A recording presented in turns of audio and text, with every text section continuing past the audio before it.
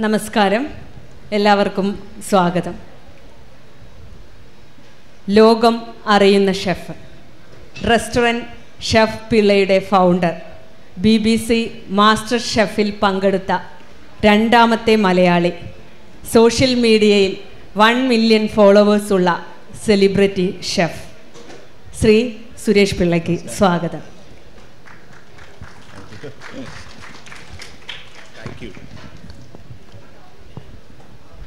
നമ്മുടെ വിഷയം ഭക്ഷ്യ വിഷബാധയാണ്. ഈ അടുത്ത കാലത്ത് നമ്മൾ നിറയെ കേട്ടുകൊണ്ടിരിക്കുകയാണ് ഈ ഭക്ഷ്യ വിഷബാധ കാരണമുണ്ടായ പ്രശ്നങ്ങൾ.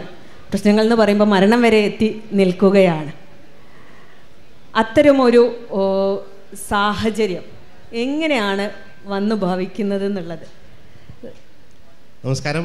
ആദ്യം തന്നെ എല്ലാവരോടും വലിയൊരു സന്തോഷം ഇങ്ങനെ കാണാൻ പറ്റിയത്.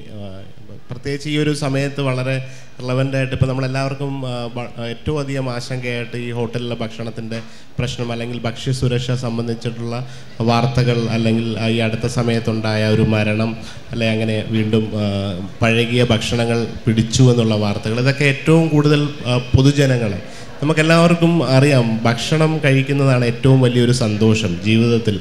മറ്റെന്തൊക്കെ ആഡംബരങ്ങൾ നമ്മൾ നേടിയാലും അതൊക്കെ കുറച്ച് ദിവസം കഴിയുമ്പോൾ ഒരു വലിയൊരു കാറ് വാങ്ങിയാലോ അല്ലെങ്കിൽ നിങ്ങൾ എന്തെങ്കിലുമൊക്കെ വാങ്ങിയാലോ അതിന്റെയൊക്കെ ഒരു ആഗ്രഹമൊക്കെ ഒരു രണ്ടോ മൂന്നോ മാസം കഴിയുമ്പോൾ നമ്മുടെ നിന്ന് നഷ്ടപ്പെടും. പക്ഷെ ഓരോ നേരവും ഓരോ എത്ര വിശാലമായിട്ടൊരു ബ്രേക്ക്ഫാസ്റ്റ് കഴിച്ചാലും പിന്നീട് ഒരു മണിയാകുമ്പോൾ നമുക്ക് വിശക്കുമ്പോൾ വീണ്ടും നല്ലൊരു മീൻകറിയോ അല്ലെങ്കിൽ ഒരു ഊണും പൊരിച്ച മീനെ കിട്ടിയാൽ നമുക്ക് ഭയങ്കര ഹാപ്പിനെസ് ആണ്. അതുപോലെ തന്നെയാണ് അതിനുശേഷം വൈകുന്നേരം നാല് മണിക്ക് ഒരു ചായ കിട്ടിയാലോ? അല്ലെങ്കിൽ അത്താഴത്തിന് നമുക്ക് ഇഷ്ടപ്പെട്ട ഒരു ഭക്ഷണം. അപ്പോൾ ഓരോ നേരവും മനുഷ്യർ സന്തോഷിക്കുന്ന ഈ ഭക്ഷണം കഴിക്കാൻ വേണ്ടിയാണ് അപ്പോൾ ഈ ഭക്ഷണം കഴിക്കുന്നത് കൊണ്ട് എന്തെങ്കിലും ഒരു അസുഖം ഉണ്ടാവുന്നു അല്ലെങ്കിൽ എന്തെങ്കിലും മനുഷ്യന് ആപത്തുണ്ടാവുന്നു എന്നൊക്കെ പറയുന്നത് കേൾക്കുന്നത് തന്നെ ഏറ്റവും വലിയ ഈ ഒരു മേഖലയിൽ പ്രവർത്തിക്കുന്ന ഒരാളെന്ന നിലയിൽ വലിയൊരു വിഷമമാണ്. അപ്പം നമുക്കറിയാം കേരളത്തിൽ എന്തൊക്കെയാണ് ഇങ്ങനെ സംഭവിക്കുന്നത്? അല്ലെങ്കിൽ നിരന്തരമായിട്ട് ഇങ്ങനെയുള്ള ഭക്ഷ്യസുരക്ഷയുടെ പ്രേരിൽ അല്ലെങ്കിൽ ഇങ്ങനെയൊക്കെയുള്ള പഴകിയ ഭക്ഷണം കഴിച്ചിട്ട് അല്ലെങ്കിൽ അൺഹെൽത്തി ആയിട്ടുള്ള സംഭവങ്ങൾ കഴിച്ചിട്ട് അങ്ങനെയുള്ള കേടായ വ്യാജം അല്ലെങ്കിൽ മായം ചേർത്ത ഭക്ഷണങ്ങൾ കാണുന്നു. അങ്ങനെയൊക്കെ കാണുന്നത് ഒട്ടും അംഗീകരിക്കാൻ പറ്റാത്തതാണ്. ഒരിക്കലും ഒരു ലാഭത്തിന് വേണ്ടി ഭക്ഷണത്തിൽ മായം ചേർക്കുന്ന ഏറ്റവും വലിയൊരു ക്രൈം എന്ന നിലയിൽ മാറേണ്ട ഒരു സാഹചര്യമാണ്. ഈവൻ പാലിനകത്ത് വെള്ളം ഒഴിക്കുന്നത് തൊട്ട് അത്ര ഒരു സിമ്പിളായിട്ട് പഴയ കാലത്തൊക്കെ നമ്മൾ ഈവൻ ആൾക്കാർ അത് ലാഭത്തിന് വേണ്ടി അല്ലെങ്കിൽ പോലും പറയാറുണ്ട്. അതിങ്ങനെ വെള്ളം ഒഴിക്കാണ്ട് പാൽ കൊടുത്താൽ ആളുകൾ കണ്ണുപെടും പിന്നെ പാൽ കിട്ടൂല. അങ്ങനെയൊക്കെ ന്യായം പറഞ്ഞു അത് ഒരിക്കലും ലാഭത്തിനല്ലാത്തവരടുത്ത് നമ്മൾ അറിയുന്നവരടുത്തൊക്കെ ചോദിക്കും നിങ്ങൾ എന്തുകൊണ്ടാണ് ഈ പാലിനകത്ത് ഇത്തിരിയെങ്കിലും വെള്ളം ഒഴിച്ച് ഡയലൂട്ട് ചെയ്ത് ഒരാൾക്ക് പണം വാങ്ങിച്ചു കൊടുക്കുന്നത്? അത് ശുദ്ധമായ പാൽ കൊടുത്താൽ അവർ കഴിക്കുന്ന ആൾക്ക് ആ പാലിന്റെ കട്ടി കണ്ടിട്ട് കണ്ണ് വിട്ട് കഴിഞ്ഞാൽ ആ പശു വീണ്ടും അത്രയും പാൽ തരില്ല. അങ്ങനെയൊക്കെയുള്ള ന്യായമൊക്കെ പറഞ്ഞിട്ടാണ് ആളുകൾ അത് ചെയ്യുന്നത്. അപ്പോൾ അതുപോലും അംഗീകരിക്കാൻ പറ്റാത്ത ഒരു കാര്യമാണ് ഭക്ഷണത്തിന്റെ കാര്യത്തിൽ. കാരണം വിദേശ രാജ്യങ്ങളിലൊക്കെ അങ്ങനെ പോയി നമ്മൾ ജോലി ചെയ്യുമ്പോഴാണ് ഇതിന്റെയൊക്കെ ഒരു ഇമ്പോർട്ടൻസ് അവിടുത്തെ ഒരു നിയമ സംഹിതകൾ എങ്ങനെയാണ് ഇതൊന്നും ഇത് ഏറ്റവും ആദ്യം ഇതിന്റെ ഒരു മൂല്യ കാരണം നമ്മൾ ആരും കാണുന്നില്ല എന്നുള്ളതാണ്. എന്തുകൊണ്ടാണ് ഇങ്ങനെയൊക്കെ ഒരു ഭക്ഷ്യ ഏറ്റവും അവസാനം വരുന്ന റെസ്റ്റോറന്റിൽ ഒരു ഈ ഒരു ഒരു കണ്ണിയുടെ ഏറ്റവും ലാസ്റ്റാണ് ഒരു റെസ്റ്റോറന്റിൽ നിങ്ങൾ കഴിക്കുന്ന ഒരു ഭക്ഷണമായിട്ട് മാറുന്ന ഒരു ഫൈനൽ പ്രൊഡക്റ്റിൽ എത്തുമ്പോൾ ഉണ്ടാവുന്ന പ്രശ്നങ്ങളല്ല. ഇത് തുടക്കം ഇവിടുന്നാണ് ഇത് എന്തുകൊണ്ട് ഈ ഇങ്ങനെയൊക്കെയുള്ളൊരു നം പ്രത്യേകിച്ച് നമ്മുടെയൊക്കെ ലോക്കലി പ്രൊഡ്യൂസ് ചെയ്യുന്ന ഭക്ഷണമാണ് ഇവിടെ കേരളത്തിലൊക്കെ വരുന്നത്. ചുറ്റുപാടുകൾ ഉണ്ടാവുന്ന അല്ലെങ്കിൽ മറ്റ് വിദേശ രാജ്യങ്ങളിൽ നിന്നോ അല്ലെങ്കിൽ മറ്റ് സ്ഥലങ്ങളിൽ നിന്നോ ഇമ്പോർട്ട് ചെയ്യുന്നില്ല. തൊട്ടടുത്ത കൂടി കൂടിപ്പോയാൽ കേരളം അല്ല തമിഴ്നാട് അല്ലെങ്കിൽ ആന്ധ്രാപ്രദേശിൽ നിന്ന് വരുന്ന ഭക്ഷ്യവസ്തുക്കൾ മാത്രമാണ് ഇവിടെ എത്തുക അപ്പോൾ അങ്ങനൊരു ക്വാളിറ്റി ചെക്ക് എന്ന് പറഞ്ഞൊരു സംഭവം നമ്മുടെ കയ്യിലില്ല. ഇവിടെ എങ്ങനെ ഇത്രയും മോശമായ ഭക്ഷണങ്ങൾ കേരളത്തിലേക്ക് വരുന്നു? അല്ലെങ്കിൽ അതിന് എങ്ങനെ നിയന്ത്രിക്കാം? അതെങ്ങനെ ഒരു സപ്ലൈ ചെയിൻ എങ്ങനെ ഒരു ഫൈനൽ ഒരു റെസ്റ്റോറന്റിൽ അല്ലെങ്കിൽ ഇതിനെക്കുറിച്ച് പരിജ്ഞാനമില്ലാത്ത ഒരു ചായക്കടക്കാരന്റെ ഒരു പഴകിയ മാംസം എത്തുന്നത് എങ്ങനെ? അവർക്ക് ആ ഒരു മാർക്കറ്റിൽ അവൈലബിൾ ആയിട്ടുള്ള സാധന സാമഗ്രികൾ വാങ്ങിച്ചിട്ടാണ് ഇത് ഉണ്ടാക്കി ഒരു ഫൈനൽ പ്രൊഡക്റ്റായിട്ട് ഒരു ഉപഭോക്താവിന് കിട്ടുന്നത്. അപ്പോൾ അങ്ങനെയൊക്കെയുള്ള ഒരു നിയന്ത്രണങ്ങളിലേക്ക് എത്തിയാൽ മാത്രമാണ് ഇത് പെർമനന്റ് ആയിട്ട് ഇങ്ങനെ ഒരു സംഭവം ഇങ്ങനെ ഒരു ഈ ഒരു ഭക്ഷ്യസുരക്ഷയുടെ ഇപ്പോൾ ഏറ്റവും അവസാനം കുറേ റെസ്റ്റോറന്റ് പോയി റൈഡ് ചെയ്ത് പൂട്ടിച്ചാലൊന്നും ഇത് തീരില്ല. ഏറ്റവും ആദ്യം ഇതിങ്ങനെ എവിടെ ഏറ്റവും ക്വാളിറ്റി ഒരു സാധനം സർക്കാരിന്റെ ഉത്തരവാദിത്തമായിട്ട് നിയന്ത്രിച്ച് കേരളത്തിലേക്ക് എത്തുന്നു. അത് മത്സ്യമാവാം മാംസമാവാം. കടലിൽ നിന്ന് ഫ്രഷ് മത്സ്യം പിടിക്കുന്ന ആ മത്സ്യം എങ്ങനെ പിന്നീട് മായം ചേർത്ത് വിതരണക്കാർ വഴി ഒരു കടയിലെത്തുന്നു. അതൊന്നും ആർക്കും അതാണ് ഏറ്റവും ആദ്യം ചെക്ക് ചെയ്യേണ്ടത്. അത് ഒരു കടലിൽ നിന്ന് വളരെ നാച്ചുറലായിട്ട് ഓർഗാനിക്കായിട്ട് പിടിക്കുന്ന ഒരു മത്സ്യം. അതല്ലെങ്കിൽ ഫാം ചെയ്ത് അല്ലെങ്കിൽ അങ്ങനെ ഒരു ഒരു ഒരു ഗൈഡ് ലൈൻ വെച്ചിട്ട് ഒരു ആൾക്കൊരു മത്സ്യ ഫാം ഉണ്ടാക്കുന്നു. അവിടെ നിയന്ത്രണമായ മത്സ്യങ്ങളെ എങ്ങനെ സുരക്ഷിതമായിട്ട് വളർത്തി വിൽക്കാം? ഈ രണ്ട് രീതിയിലാണ് മത്സ്യങ്ങൾ കിട്ടുന്നത്. അപ്പോൾ ആ രണ്ട് മത്സ്യങ്ങളിൽ നിന്ന് നമുക്ക് തന്നെ അറിയാം എന്തോരം കെമിക്കലുകൾ ചേർത്തിട്ടോ അല്ലെങ്കിൽ മറ്റു രീതിയിലോ ഇത് ഫൈനലായിട്ട് ഒരു ഉപഭോക്താവിന് മാർക്കറ്റിൽ ലഭ്യമാവുന്നു. അപ്പോൾ ഈ മാർക്കറ്റിൽ ഇതിങ്ങനെ ലഭ്യമാവാതെ ആദ്യത്തെ കടമ്പെന്ന് വെച്ചാൽ ഇത് മാർക്കറ്റിൽ ഇങ്ങനെയുള്ളൊരു സംഭവം ലഭ്യമാവരുത്. എന്നാൽ മാത്രമാണ് ഏറ്റവും ആദ്യം ഇത് നിയന്ത്രിക്കാൻ പറ്റുക. അപ്പോൾ അങ്ങനെയൊക്കെയുള്ള കുറേ നിയമങ്ങളുടെ അഭാവം അല്ലെങ്കിൽ നമ്മളൊക്കെ മറ്റ് രാജ്യങ്ങളിൽ പോകുമ്പോൾ അവിടെ ഒരു രാജ്യത്ത് ഒരു ഷിപ്മെന്റ് വന്നാൽ പോലും ഒരു ഇപ്പം ഏറ്റവും എക്സാമ്പിളായിട്ട് പറയേണ്ട മിഡിൽ ഈസ്റ്റ് നമ്മളെല്ലാവരും ഗൾഫ് രാജ്യങ്ങളുമായിട്ട് വളരെയധികം അടുത്ത ബന്ധങ്ങൾ കാരണം ഒരുപാട് മലയാളി പ്രവാസികൾ ജോലി ചെയ്യുന്ന സ്ഥലം. അപ്പോൾ അവിടെയൊക്കെ ഇങ്ങനെ ഒരു സംഭവം വരുന്നത് അവിടെ ലോക്കൽ പ്രൊഡ്യൂസ് ഇല്ലെങ്കിൽ പോലും ഒരു ഷിപ്മെന്റ് വന്നാൽ അവിടെ ആ കട അവിടെ ആ ഷിപ്മെന്റ് വരുമ്പോൾ തന്നെ അതിന്റെ ഒരു ക്വാളിറ്റി ചെക്ക് ചെയ്തിട്ട് അതിനെ ഡിസ്പോസ് ചെയ്യുകയോ അല്ലെങ്കിൽ ഏറ്റവും മികച്ച സംഭവം മാത്രമാണ് ആ കൺട്രിയിലേക്ക് ആദ്യം തന്നെ എത്തുന്നത്. പിന്നീട് അവിടെ നിന്നാണ് ഇത് ഡിസ്ട്രിബ്യൂട്ട് ചെയ്ത് ഡിസ്ട്രിബ്യൂട്ട് ചെയ്ത് ഓരോ ഫൈനൽ പ്രൊഡക്റ്റ് അപ്പോൾ അങ്ങനെ ഒരു ചാൻസ് ഒരു പഴകിയ മാംസം അവിടെ ലഭ്യമാവാനുള്ള സാധ്യതകൾ തന്നെ ആദ്യം അവിടുത്തെ ഈ ഒഫീഷ്യലായിട്ടുള്ള അല്ലെങ്കിൽ ഗവൺമെന്റ് ഒഫീഷ്യൽസ് ഇല്ലാതാക്കുന്നുണ്ട്. ഇപ്പോൾ ഇവിടെ അങ്ങനെ ഒരു അവസ്ഥ എത്തിയിട്ടില്ല. അപ്പോൾ അതുമൂലം തന്നെ ഒരുപാട് പ്രശ്നങ്ങളാണ് ഉണ്ടായത്. ഇതാണ് എന്റെ ഒരു ഫസ്റ്റ് ഘട്ടമായിട്ട് ഇപ്പോൾ ഭക്ഷ്യസുരക്ഷയുടെ ഏറ്റവും ആദ്യം തന്നെ നമുക്ക് നിങ്ങളിപ്പോൾ ഒരു പൊതുജനങ്ങളിൽ ഉൾപ്പെടെ ഒരു അറിയേണ്ടത് ഇങ്ങനെ ഒരു പ്രൊഡക്റ്റ് ഇവിടെ എത്തുന്നുണ്ട്. കാരണം ഇതൊരു ഡിമാൻഡാണ് മാർക്കറ്റ് ഇവിടുത്തെ നമ്മുടെ നാട്ടിൽ ലാഭത്തിന് വേണ്ടിയിട്ട് അല്ലെ വില കുറഞ്ഞ ഭക്ഷണത്തിന് വേണ്ടിയിട്ട് ഒരു ഡിമാൻഡ് മാർക്കറ്റ് ഉള്ളിടത്തോളം കാലം ഇങ്ങനെയൊക്കെയുള്ളൊരു മൽ പഴകിയ മാംസം വരുന്ന ട്രെയിനിലാണ് ഒന്ന് ആലോചിച്ച് നോക്കൂ. അത് അതായത് ഓൾറെഡി പ്രീ കട്ട് ചെയ്ത് അല്ലെങ്കിൽ പഴകിയ മാംസമായിട്ട് ഉണ്ടാക്കി ട്രെയിനിനകത്ത് മണിക്കൂറുകളോളം ട്രാവൽ ചെയ്തിട്ടൊക്കെയാണ് പോലും ഇവിടെ എത്തുന്നത്. അല്ലാതുള്ളപ്പോൾ ജീവനുള്ള മത്സ്യം അല്ലെങ്കിൽ ഈ ഒരു കോഴി മാടൊക്കെ ചെക്ക് പോസ്റ്റ് വഴി ഇവിടെ എത്തുന്നു പിന്നീട് ഇവിടുന്ന് ബുച്ചർ ചെയ്യുന്നു. അങ്ങനെയൊക്കെ ഒരു കറക്റ്റ് കോൾഡ് പ്രോസസ്സിലാണ് എടുത്ത് എത്തേണ്ടത്. അതൊന്നും ഇല്ലാതെ ട്രെയിനിലൊക്കെ എത്തുക എന്ന് പറയുന്നത് തന്നെ ഏറ്റവും വലിയ ഡേഞ്ചറസ് ആയിട്ടുള്ള കാര്യമാണ്. അപ്പോൾ ഇവിടുത്തെ ഒരു മാർക്കറ്റ് ഇവിടുത്തെ ഒരു ജനങ്ങൾ നൂറ് രൂപയ്ക്കോ അമ്പത് രൂപയ്ക്കോ വേണ്ടിയിട്ട് ചിക്കൻ കറി കഴിക്കാൻ ആഗ്രഹിക്കുന്നുണ്ടെങ്കിൽ ഇങ്ങനൊരു സംഭവം ഇവിടെ വന്നിരിക്കും. അതിപ്പോൾ എത്ര നിയന്ത്രണം? അപ്പം നമ്മൾ കൂടി ഉത്തരവാദിത്തമാണ് നമ്മൾ ഈ ഭക്ഷണം കഴിച്ചിട്ടുണ്ടാകുന്ന അസുഖങ്ങൾ. നമുക്ക് ഗുണമേന്മയുള്ള ഭക്ഷണം വീട്ടിലായാലും വെളിയിലായാലും ഒരു മിനിമം ക്വാളിറ്റി എങ്കിലും. ഒറ്റ ഓക്കെ ഞാൻ പറയുന്നത് നമുക്കൊരു ലക്ഷറി ആയിട്ട് കഴിക്കാൻ ഒരു പഞ്ചനക്ഷത്രത്തിൽ പോയി കഴിക്കാം.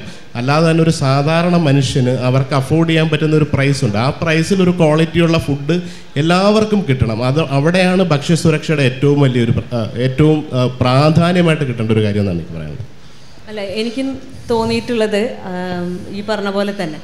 ആദ്യം കുറേ കാര്യങ്ങൾ ചെയ്തു വരാനുണ്ട്. അതൊന്നും ചെയ്യാതെ ഭക്ഷണത്തിലെത്തുമ്പോൾ മാത്രമാണ് നമ്മൾ ഭക്ഷണത്തിനെയും ഹോട്ടലുകളെയും ഒക്കെയാണ് നമ്മൾ അധിക്ഷേപിച്ചുകൊണ്ടിരിക്കുന്നത്.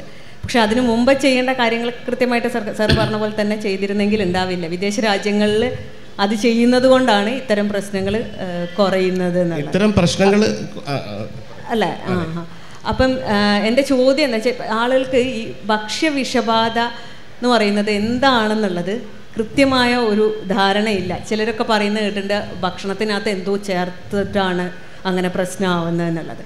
അതോ പഴകിയ ഭക്ഷണം അതും പ്രശ്നമാണല്ലോ. അപ്പോൾ എന്താണ് ശരിക്കും ഈ പിന്നെ ചിലപ്പം നമ്മൾ ഈ അലർജി അങ്ങനെയുള്ള പ്രശ്നങ്ങൾ കൊണ്ട് വരുന്നതുണ്ട്. അപ്പം അതിനെക്കുറിച്ചൊന്ന് വിശദീകരിക്കാം. ശരിക്കും ഈ നമുക്ക് നമുക്ക് തന്നെ പല തെറ്റിദ്ധാരണകളുണ്ട്. ഈ പറഞ്ഞ പോലെ ആദ്യത്തെ ആദ്യത്തെ ആ പ്രോസസ്സ് ആദ്യം പറഞ്ഞ പോലെ ഒരു പ്രൊഡക്റ്റിനെ നമ്മൾ ഏറ്റവും ബെസ്റ്റായിട്ട് മാർക്കറ്റിൽ അവൈലബിൾ ആയതിനു ശേഷം പിന്നീട് ഇത് പല ഘട്ടങ്ങൾ കഴിഞ്ഞിട്ടാണ് ഈ നേരത്തെ പറഞ്ഞ ഫൈനൽ പ്രോഡക്റ്റ് അവിടെയാണ് പിന്നെ സ്കില്ലെന്ന് പറഞ്ഞൊരു സംഭവം. ഒരിക്കലും ഒരു ഭക്ഷണം ഉണ്ടാക്കുന്നത് ഇപ്പോൾ വീട്ടിലൊക്കെ നിങ്ങൾക്കൊരു നാല് പേർക്ക് അല്ലെങ്കിൽ രുചികരമായിട്ട് പത്ത് പേർക്കൊക്കെ ഉണ്ടാക്കുന്ന പലരും നമ്മളുണ്ടാവും. പക്ഷേ അതൊന്നും അല്ല ഒരിക്കലും ഒരു കൊമേഴ്സ്യലി പണം കൊടുത്ത് അല്ലെങ്കിൽ ഒരു- പണം കൊടുത്ത് വാങ്ങിക്കുന്ന ഒരാൾക്ക് കൊടുക്കുന്ന ഒരാളുടെ അറിവ് എന്ന് പറയുന്നത്. അപ്പോൾ അതൊരു സ്കിൽഡ് ആയിട്ടുള്ളൊരു ജോലിയാണ്. ഒരു കുക്ക് എന്നതിൽ നിന്ന് മാറി ഒരു ഷെഫിലേക്കൊക്കെ എത്തുമ്പോൾ ഉണ്ടാകുന്ന ഒരു സ്കിൽ നോളജ് ഉണ്ട്. അപ്പോൾ ഈ ഒരു ഭക്ഷണം ഇത്ര മണിക്കൂർ കഴിഞ്ഞാൽ ഇത് കേടാകുന്നുണ്ട്. അല്ലെങ്കിൽ ഈ ഇത് ഇത്ര മാത്രമാണ് ഇതിന്റെ വേഗ് വേവെന്നതിന്റെ ഒരു അളവുകോൽ.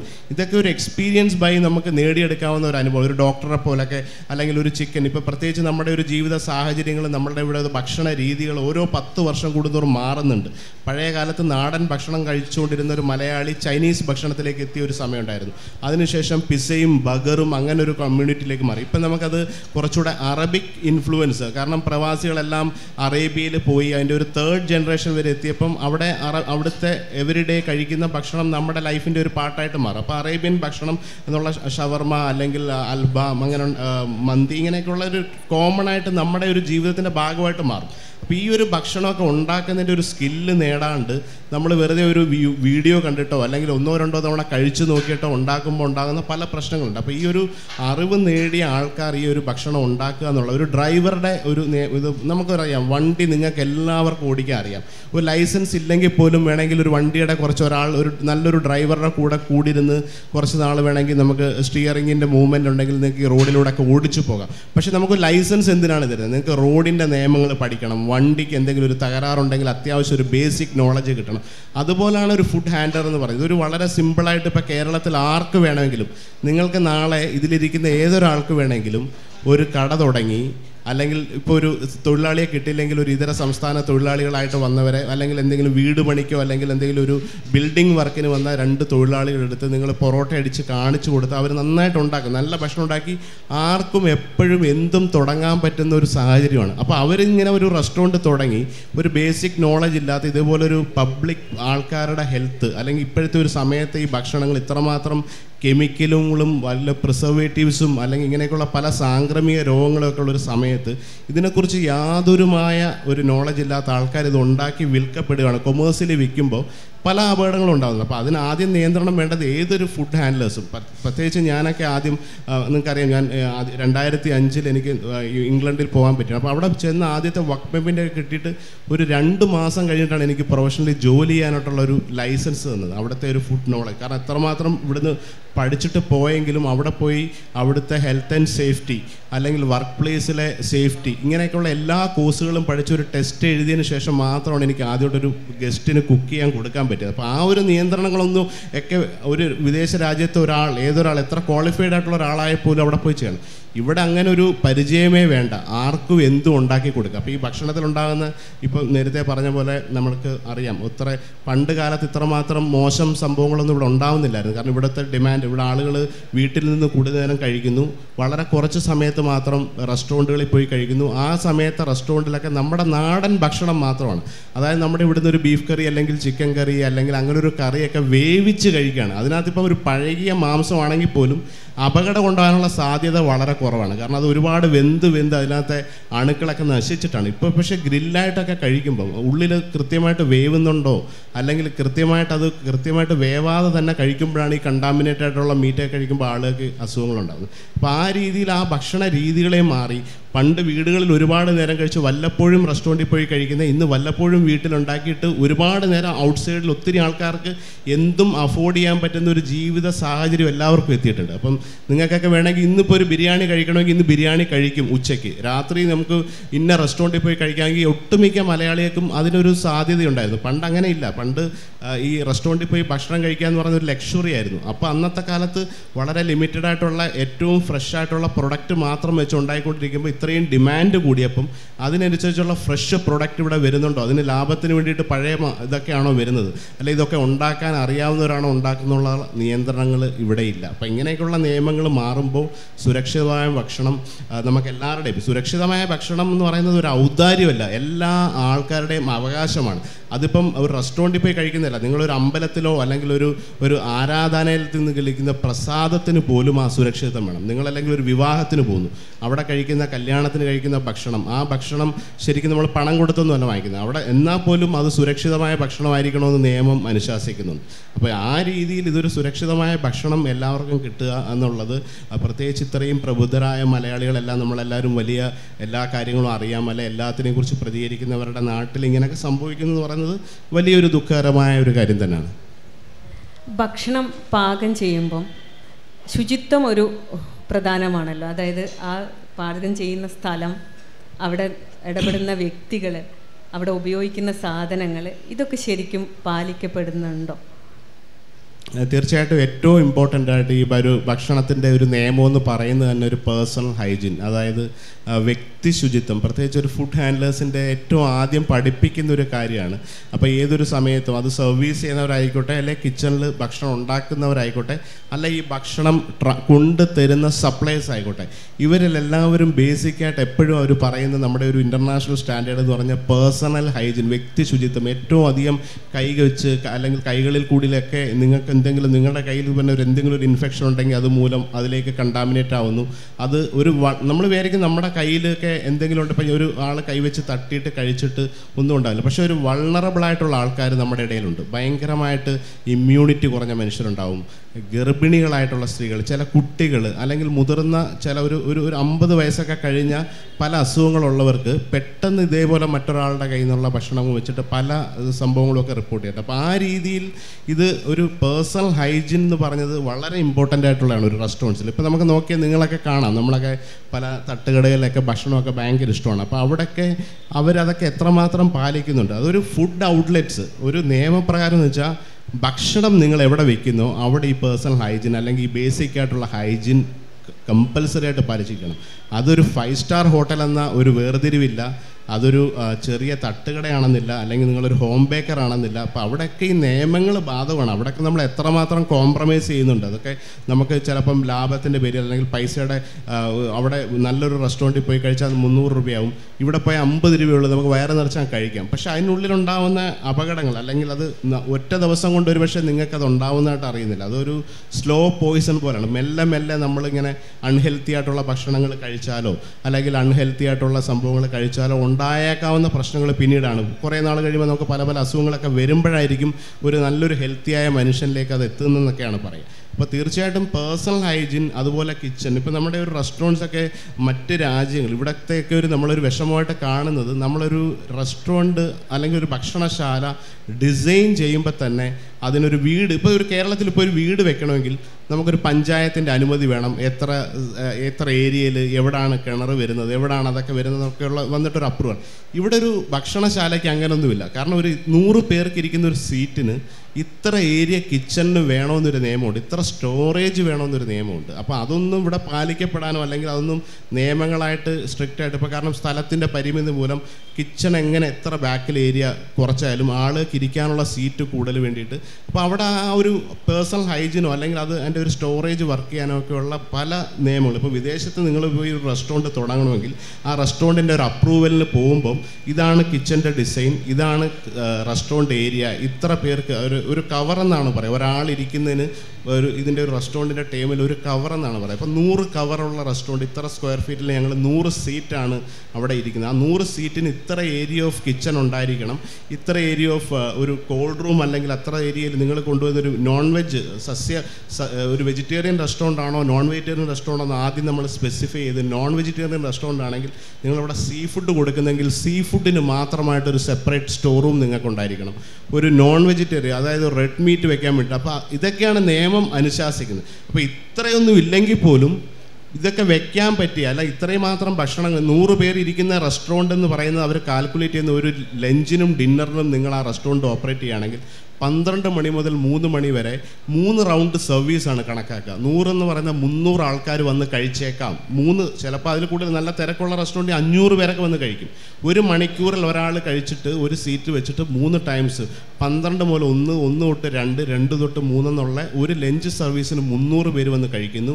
ഡിന്നറിൽ അത് അഞ്ച് മണി മുതൽ പതിനൊന്ന് മണി വരെ അഞ്ച് മണിക്കൂർ വീണ്ടും അതൊരു നാല് റൗണ്ട് സർവീസായിട്ട് വരുന്നതാണ്. നാനൂറ്. അപ്പോൾ എഴുന്നൂറ് ആൾക്കാരുടെ ഭക്ഷണം ശേഖരിച്ച് വെക്കാനുള്ള സുരക്ഷിതമായ സ്റ്റോറേജ് ഉണ്ടോ എന്ന് നോക്കുക എന്നുള്ളത് വളരെ ഒരു ഇമ്പോർട്ടന്റ് അതൊന്നും ഇവിടെ ഇല്ല. ഇവിടെ റെസ്റ്റോറന്റ് നമ്മൾ റെസ്റ്റോറന്റ് ഉണ്ടാക്കും. അതിന് പറ്റിയ സ്ഥലത്തിനനുസരിച്ചുള്ളൊരു കിച്ചൺ ബാക്കിൽ അങ്ങ് സെറ്റ് ചെയ്യും. അവിടുന്ന് ഡെയിലി വരുന്ന ഭക്ഷണം വെച്ച് അടിക്കും. ചിലപ്പോൾ ബാക്കി വരുന്നത് എങ്ങനെ സൂക്ഷിക്കും? അല്ലെങ്കിൽ അത് ചീത്തയായ എടുത്ത് കളയുകയാണോ? അത് അപ്പോൾ അതിനൊക്കെ ഒരു പ്ലാനിങ്ങോട് കൂടിയൊക്കെയുള്ള കുറേ നിയമങ്ങൾ. അതൊക്കെ എനിക്ക് തോന്നുന്നു ഇപ്പം ഭാവിയിൽ പുതിയ നിയമങ്ങൾ ഇപ്പോൾ എഫ് എസ് എസ് ഐയുടെയും എല്ലാം ഇന്റർനാഷണൽ സ്റ്റാൻഡേർഡായിട്ട് മാറുമ്പോൾ ഇത് ഇത് നമ്മളൊക്കെ ഇപ്പം തന്നെ ഇത് ഒരു മാറ്റം വരുമ്പോൾ തന്നെ ഈ ഒരു ഇൻഡസ്ട്രിയിൽ ഉള്ളവർ ഇത് മാറിയില്ലെങ്കിൽ ഇന്നല്ലെങ്കിൽ നാളെ ഇത് കേരളത്തിൽ വരും. ഇന്നല്ലെങ്കിൽ നാളെ ഇത് വന്നേ പറ്റുമായിരുന്നു. കാരണം ഇതേപോലുള്ള അപകടങ്ങളൊന്നും ജനങ്ങൾ വെച്ച് പൊറിപ്പിക്കില്ല. അപ്പോൾ ഇത് ഇതിന്റേതായിട്ടുള്ള ആൾക്കാർ ആൾക്കാരുടെ ഇത് ലോകത്ത് പാലിക്കപ്പെടുന്ന ഇപ്പം ഒരു മറ്റ് യൂറോപ്പിലോ അമേരിക്കയിലോ ഗൾഫ് നാടുകളിലോ പാലിക്കപ്പെടുന്ന നിയമം നല്ലതാണെങ്കിൽ അത് എന്തായാലും ഇന്ത്യയിലേക്ക് ഇംപ്ലിമെന്റ് ചെയ്യും.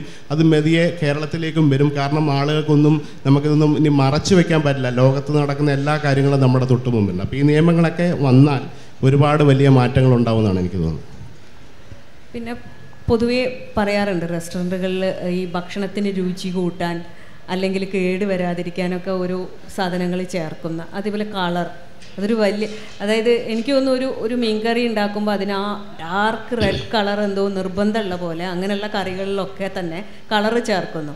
സത്യത്തിൽ അത് ചേർത്തില്ലെങ്കിലും രുചിക്ക് വ്യത്യാസമൊന്നും ഉണ്ടാവുന്നില്ല. ആ ഒരു പ്രസന്റേഷന് ഭംഗി കൂടുക എന്നുള്ളതിന് പ്രാധാന്യം കൊടുത്തിട്ട് ഹെൽത്തിനെ ശ്രദ്ധിക്കാതെ പോകുന്ന ഒരു കാഴ്ച കാണുന്നുണ്ട്. ഞാനൊക്കെ ഒരിക്കൽ കഴിച്ചപ്പം എനിക്ക് അത്ഭുതമായിരുന്നു. വലിയ റെസ്റ്റോറന്റ് തന്നെയാണ് കഴിച്ചത്. നമ്മൾ പൊതുവേ ചെറുതിനെ പറയും അവർ ലോക്കൽ സാധനങ്ങളാണ് യൂസ് ചെയ്യുന്നത്. കാരണം അവർക്ക് ആ കാശിന് അതേ പറ്റുള്ളൂ എന്നുള്ളത് കൊണ്ട് അവരങ്ങനെ ഉപയോഗിക്കും കൈ ആ രാത്രി ഫുള്ളും ചുവന്ന കളറായിരുന്നു അത് കഴിഞ്ഞ് പിറ്റേ ദിവസവും കഴിഞ്ഞിട്ടാണ് കഴുകിയിട്ട് ആ കളറ് നമുക്ക് പോകുന്നത്. അപ്പം എത്രത്തോളം അത് നമ്മളെ നമ്മളുടെ ഉള്ളിലേക്ക് പോയിരിക്കുകയാണ്. അപ്പം അത്തരം കാര്യങ്ങൾ അത്തരം സാധനങ്ങൾ ശരിക്കും ഉപയോഗിക്കേണ്ടതുണ്ടോ? അല്ലാതെ തന്നെ നമുക്ക് പാചകം ചെയ്ത് ഭക്ഷണം തയ്യാ കൊടുത്തൂടെ എന്നുള്ളതാണ് ഒരു ചോദ്യം. തീർച്ചയായിട്ടും അത് നമ്മളാണ്. ഈ ഒരു അത് പൊതു നേരത്തെ പറഞ്ഞ പോലെ ആ മാർക്കറ്റ് എന്താണ് ആവശ്യപ്പെടുന്നത് അതാണ് ബിസിനസ് എന്നാണ് പറയുക. നിങ്ങൾ എന്താണ് ഇപ്പോൾ ഈ ഒരു ആൾക്കൂട്ടം ഇവിടെ ഇരിക്കുന്ന ഒരു ഒരു ആയിരം പേരുണ്ടെങ്കിൽ ഈ ആയിരം പേരിൽ തൊള്ളായിരം പേര് ആഗ്രഹിക്കുന്നത് ഇവിടെ നടക്കും. അപ്പം ഇതിനകത്തൊരു ആ ഒരു നൂറ് പേര് എതിർത്താൽ പോലും അതൊന്നും ആരും അംഗീകരിക്കില്ല. തൊള്ളായിരം മാസ് എന്ത് തീരുമാനിക്കുന്നു അതായിരിക്കും മാർക്കറ്റിൽ പ്രൊഡക്റ്റായിട്ട് വരുന്നത് അതായിരിക്കും ബിസിനസ്സായിട്ട് ആളുകൾ കൊണ്ടുവരിക. നിങ്ങളുടെ ചിന്ത എന്താണ്? നിങ്ങൾക്ക് എന്തൊക്കെയാണ് നിങ്ങൾ ആ തൊള്ളായിരം പേര് എന്തൊക്കെയാണ് കോമൺ ആയിട്ട്? നിങ്ങളുടെ ആ തൊള്ളായിരം പേരുടെ ഡാറ്റ വെച്ചിട്ടാണ് ലോകത്തെ എല്ലാ ബിസിനസ്സുകളും തീരുമാനിക്കുക. ഈ ഒരു തൊള്ളായിരം പേര് എന്തൊക്കെയാണ് ആഗ്രഹം? ഏത് തരം സിനിമ വരണം? ഏത് തരം വസ്ത്രങ്ങൾ മാർക്കറ്റിൽ വരണം? ഏത് തരം ഭക്ഷണം? അപ്പം നിങ്ങൾ തീരുമാനിക്കുകയാണ് എന്റെ മീൻ കറിക്ക് അല്ലെങ്കിൽ നിങ്ങൾ വാങ്ങിക്കുന്ന ഒരു ബട്ടർ ചിക്കൻ ഇങ്ങനെ ചുമന്ന കളറാണ് എന്റെ സ്വപ്നം. അപ്പോൾ ആ ഒരു നാച്ചുറലി ഒരു നാച്ചുറലായിട്ട് ഒരു മുളകിന് ഒരു നിറമുണ്ട് ഇപ്പോൾ ഒരു കാശ്മീരിയിലെ ഒരു ചില്ലി.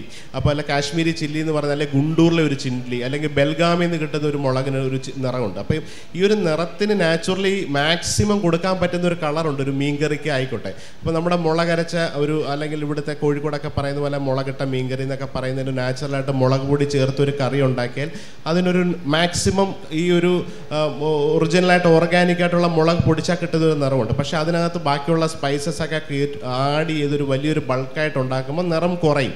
അപ്പോൾ അത് ആളുകൾ പറയും ഈ ഈ ഒരു കറിക്ക് നിറമായില്ല. അല്ലെങ്കിൽ അതിനകത്ത് വീണ്ടും വരുമ്പോഴാണ് ഇതിന് കളർ എന്ന് പറയുന്ന ഒരു സംഭവമാണ്. കളർ എന്ന് പറയുന്നത് നമുക്കറിയാം.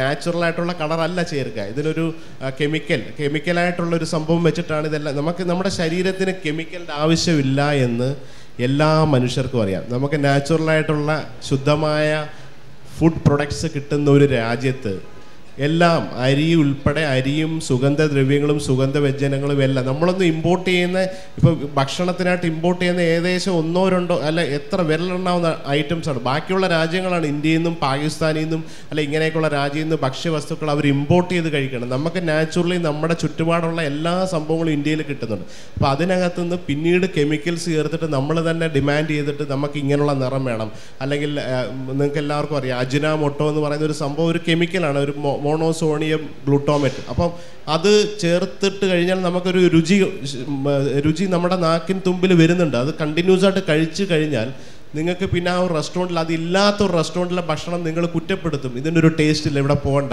അല്ല ഇവിടുത്തെ കളറിനൊരു നാച്ചുറാലിറ്റി ഇല്ല നിങ്ങൾക്ക് ആ ഒരു കളറും രുചിയും കിട്ടുന്ന റെസ്റ്റോറന്റിലേക്ക് തേടി പിടിച്ച് പോവുകയാണ്. അപ്പോൾ അത് നാട്ടുകാർ നമ്മളാണ് തീരുമാനിക്കേണ്ടത് നിങ്ങൾക്ക് നാച്ചുറലായിട്ടുള്ള ഫുഡാണോ വേണ്ടത്? അല്ലെങ്കിൽ അൺഹെൽത്തി ആയിട്ടുള്ള ഫുഡാണോ വേണ്ടത്? ഇപ്പോൾ ഈ ഒരു ബേക്കറി പ്രൊഡക്ട്സ് ഏറ്റവും കൂടുതൽ നമുക്കറിയാം. അതിനൊക്കെ ഒരു നിയന്ത്രണങ്ങൾ ഗവൺമെന്റ് തീരുമാനിച്ചിട്ടുണ്ട്. ഇത്ര ഗ്രാമിന് ഇത്ര പെർപ്പ് എന്നുള്ള രീതിയിലുള്ള കളർ നമുക്ക് ചേർക്കാം. പ്രത്യേകിച്ച് ഒരു ബേക്കറി പ്രൊഡക്ട്സിന് ഗവൺമെന്റ് അനുവദിക്കും പക്ഷേ ഡയറക്റ്റായിട്ട് കഴിക്കുന്ന ഭക്ഷണത്തിൽ ഇതൊന്നും അനുവദനീയമല്ല. നമുക്ക് നിറങ്ങൾ ചേർക്കാൻ വേണ്ടിയിട്ട്. പ്രത്യേകിച്ച് ഒരു നോർത്ത് ഇന്ത്യൻ ഫോർ എക്സാമ്പിൾ ഒരു നോർത്ത് ഇന്ത്യൻ കറി ആയിട്ടുള്ള ഈ ബട്ടർ ചിക്കൻ അല്ലെ ചിക്കൻ ടിക്ക മസാല എന്നൊക്കെ പറഞ്ഞ് ഈ കറിക്ക് നല്ല ചുമന്ന നിറം കിട്ടാൻ വേണ്ടിയിട്ട് ആ ചിക്കന്റെ ടിക്കയിലൊക്കെ ചേർക്കാൻ വേണ്ടിയിട്ട് ഫുഡ് കളേഴ്സ് അത് അനുവദനീയമായ. അല്ലാതെ ഒരു മായമായിട്ടല്ല. നമുക്ക് ഫുഡ് കളേഴ്സ് ഗവൺമെന്റ് അംഗീകൃതമായ കളേഴ്സ് ഉണ്ട്. അതിന് പക്ഷേ അളവുകളുണ്ട്. ഈ അളവുകളൊക്കെ ഇത്ര ഗ്രാമിന് ഇത്ര മില്ലി എന്നാണ് ചെയ്യുന്നതാണ് അപ്പോൾ ഇതൊരു പരിചയമില്ലാത്തൊരു ഷെഫ് ഇതെടുത്ത് കലക്കി അതിനകത്ത് ഇത്തിരി വെള്ളം കൂടുതൽ ഒഴിച്ചാലും നിറവും ഒരേപോലെ ഒരു ഒരു ഒരു പരിധിക്കപ്പുറം ഇതെല്ലാം ചുമന്ന് തന്നെ നിൽക്കും. പക്ഷേ ഇതിന്റെ അളവ് എത്ര ആണെന്നോ എത്ര രീതിയിലാണെന്നോ ഒന്നും നമുക്ക് അവർക്കറിയില്ല. അപ്പോൾ ആ രീതിയിൽ അത് അങ്ങനെയൊക്കെയുള്ള ഭക്ഷണങ്ങൾ തുടർച്ചയായിട്ട് നമ്മൾ കഴിക്കുന്നു. നിങ്ങൾ ഒരു നിത്യവും ഒരു മനുഷ്യന്റെ കാര്യം പറയുന്നത് ഇരുപത്തൊന്ന് മീലാണ് ഒരാഴ്ചത്തെ കൗണ്ട് എന്നാണ് പറയുന്നത്. ഒരാൾ ഒരു മൂന്ന് നേരം ബ്രേക്ക്ഫാസ്റ്റ് ലഞ്ച് ഡിന്നർ വെച്ചിട്ട് ഏഴ് ദിവസം ട്വന്റി വൺ മീൽ ഒരു മനുഷ്യൻ കഴിക്കും. ആ ഇരുപത്തൊന്ന് മീലിൽ ഇപ്പോഴത്തെ ഒരു ജീവിത സാഹചര്യം വെച്ച് മൂന്നോ നാലോ അല്ലെങ്കിൽ ഒരു പത്ത് മീലൊക്കെയാണ്. പ്രത്യേകിച്ച് കോഴിക്കോടോ അല്ലെങ്കിൽ കേരളത്തിലെയൊക്കെ സാഹചര്യം വെച്ച് ചിലപ്പോൾ പത്തോ പതിനഞ്ചോ മീൽ വീട്ടിൽ നിന്ന് കഴിക്കും. ബാക്കി പതിനഞ്ച് മീലുകൾ നിങ്ങൾ ആവറേജ് ഔട്ട്സൈഡിലാണ് അപ്പോൾ ഒരു ബാംഗ്ലൂർ പോലൊരു സിറ്റി അല്ലെ കൊച്ചി പോലെ കുറച്ചുകൂടെ കോപ്പറേറ്റ് ആയിട്ട് ഒരുപാട് ഓഫീസൊക്കെ ഉള്ളവടുത്ത് ഈ ഒരു നമ്പേഴ്സ് കൂടുതലാണ്. അപ്പോൾ ഒരു ആവറേജ് ആയിരം പേരിൽ അവരൊരു ഇരുപത്തൊന്ന് മീലിൽ ഒരു പതിനഞ്ച് മീലും വെളിയിൽ നിന്നാണ് കഴിക്കുക. ഈ പതിനഞ്ച് മീൽ വെളിയിൽ നിന്ന് കഴിക്കുമ്പോൾ ഇങ്ങനെയൊക്കെയുള്ള സംഭവങ്ങൾ നിത്യവും നിങ്ങളുടെ ശരീരത്തിലൂടെ എത്തുമ്പോൾ നമുക്ക് എന്തൊക്കെ പ്രശ്നങ്ങൾ ഉണ്ടാവുന്നു? അത് ഞാൻ പറയാതെ തന്നെ നിങ്ങൾക്ക് ഊഹിക്കാം. അത് വെച്ചിട്ട് എന്തൊക്കെ നമുക്ക് ഭാവിയിലുള്ള ഇപ്പം ഇപ്പം നമ്മൾ ഹെൽത്തി ആയിരിക്കാം. എല്ലാവരും പറയുന്ന ഒരു കാര്യം ഈ ഭൂമി എന്ന് പറയുന്നത് ഭയങ്കര സുഖസുന്ദരമായിട്ട് നമുക്ക് ഏറ്റവും ബെസ്റ്റ് വൺ ഓഫ് ദ ബെസ്റ്റായിട്ട് വന്നിരിക്കുകയാണ്.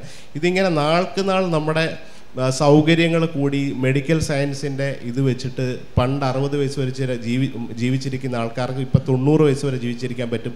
ഇനി ഒരു പത്തോ പതിനഞ്ചോ വർഷം കഴിഞ്ഞാൽ ചിലപ്പോൾ നമ്മൾ നൂറ്റി ഇരുപത് വർഷമായാലും നമ്മളൊക്കെ ജീവിച്ചിരിക്കും. ഈ നൂറ്റി ഇരുപത് വർഷം അസുഖം ചേർന്നിട്ടുള്ള ജീവിതമാണോ? അല്ലെങ്കിൽ നമുക്ക് ഇത്രയും മനോഹരമായ ടെക്നോളജിയൊക്കെ ഉള്ള ഈ ഒരു ലൈഫിൽ നമുക്ക് എങ്ങനെ ഏറ്റവും മാക്സിമം ആ ഒരു ഫുൾ ഫ്ലഷ് ആയിട്ട് ഓരോ പത്ത് വർഷം കൂടുന്തോറും പുതിയ പുതിയ ടെക്നോളജികൾ ഇനിയും നമ്മുടെ മുമ്പിലേക്ക് വരായിരിക്കും അപ്പോൾ അതൊക്കെ ആസ്വദിച്ച് ഒരു വൺ ലൈഫ് കിട്ടേണ്ട ഒരു ടൈമിൽ നമ്മളിങ്ങനെ ഭക്ഷണം കഴിച്ചിട്ടോ അല്ലെങ്കിൽ നമ്മുടെ ജീവിത ശൈലി രോഗങ്ങൾ കൊണ്ട് ബുദ്ധിമുട്ടി ജീവിക്കണോ എന്നൊക്കെയുള്ള നമ്മൾ തന്നെയാണ് തീരുമാനിക്കുന്നത് അപ്പോൾ ഇങ്ങനെയൊക്കെയുള്ള ഒരു കാര്യം അത് ഒരു പബ്ലിക്കിന്റെ ഒരു ഡിമാൻഡിന് വിട്ടിരിക്കുക അപ്പോൾ നിങ്ങൾ ആഗ്രഹിച്ചാൽ നിങ്ങൾക്ക് ഒരു നമ്മളൊരു ഡിസിഷൻ എടുക്കണം നമുക്ക് ഇങ്ങനെയുള്ള ഭക്ഷണം വേണ്ട നമുക്ക് ഇങ്ങനെയുള്ളത് തന്നെ വേണമെങ്കിൽ ഓട്ടോമാറ്റിക്കായിട്ട് അതനുസരിച്ച് മാർക്കറ്റ് മാറും. അത് ഒരു റെസ്റ്റോറന്റോ ഞാനോ അല്ലെങ്കിൽ കുറച്ച് റെസ്റ്റോറന്റ് ഒരുമിച്ച് ഞങ്ങൾ നാളെ മുതൽ വളരെ ശുദ്ധമായ ഭക്ഷണം അല്ലെങ്കിൽ ഒരു മായങ്ങളും ഇല്ലാത്ത തേടി പിടിച്ച് വന്നാൽ ചിലപ്പോൾ ആ റെസ്റ്റോറന്റ് പൂട്ടിപ്പോകും. അവിടെ ആരും വന്ന് കഴിക്കില്ല. കാരണം അവർക്ക് മറ്റുള്ള മാസിന് വേണ്ടത് അതേപോലെ നിറമുള്ള ഭക്ഷണം അതീവപരമായിട്ട് രുചി ആഡ് ചെയ്യുന്ന അല്ലെങ്കിൽ അങ്ങനെയൊക്കെയുള്ള രുചി കൂട്ടാൻ വേണ്ടിയിട്ട് ആഡ് ചെയ്യുന്ന കെമിക്കൽസ് ഒക്കെ വെച്ചിട്ട് ഉണ്ടാക്കുന്ന ഭക്ഷണം കഴിക്കാൻ ആൾക്കാർ പോകുമ്പോൾ മറ്റുള്ളവരൊക്കെ ഓഡ് ഔട്ടായിട്ട് മാറി നിൽക്കും അപ്പോൾ അവർ പൂട്ടിപ്പോകും. അപ്പോൾ അവർക്ക് എല്ലാവർക്കും ഇതിന്റെ ഇടയിൽ നിന്ന് ചെയ്യാൻ മാത്രമേ പറ്റൂ അപ്പോൾ ജനങ്ങളാണ് തീരുമാനിക്കേണ്ടത്. അല്ലെ നിങ്ങൾ ആ മാർക്കറ്റ് എന്ത് തീരുമാനിച്ചാലും അതനുസരിച്ചുള്ള ഡിസിഷൻ അതായത് ഡിസിഷൻ മേക്കേഴ്സ് എന്ത് തീരുമാനിക്കുന്നു നിങ്ങളാണ് ഡിസിഷൻ മേക്കേഴ്സ് ഇത് എന്താണ് നമ്മൾ കഴിക്കേണ്ടത്? അത് മെല്ലെ മെല്ലെ മാറും എന്നാണ് എനിക്ക് പറയാനുള്ളത്. ഒരുപാട് പാചക പരീക്ഷണങ്ങൾ നടത്തുന്ന ആളാണല്ലോ. അപ്പം ആ ഒരു ഭക്ഷണത്തിന് ഹെൽത്ത് കണ്ടന്റിനാണോ പ്രാധാന്യം കൊടുക്കുന്നത്? അല്ലെങ്കിൽ അതിന്റെ ടേസ്റ്റിനാണോ പ്രാധാന്യം കൊടുക്കുന്നത്?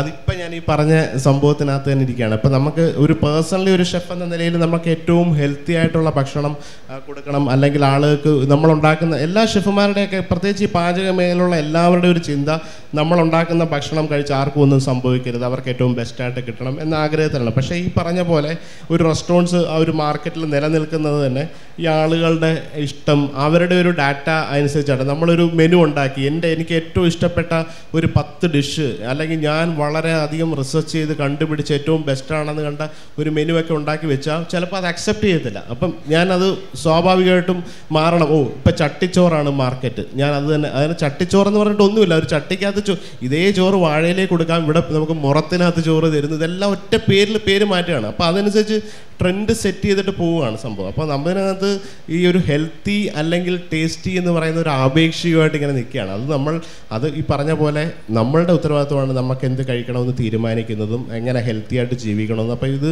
ബാക്കിയുള്ളവരുടെ ഒരു അജണ്ട സെറ്റ് ചെയ്തിട്ട് അതിനകത്ത് വീഴാതെ അവരവർക്ക് മനസ്സിലാക്കുക. അപ്പോൾ അതനുസരിച്ചുള്ള നിയമനിർമ്മാണങ്ങൾ മാറി.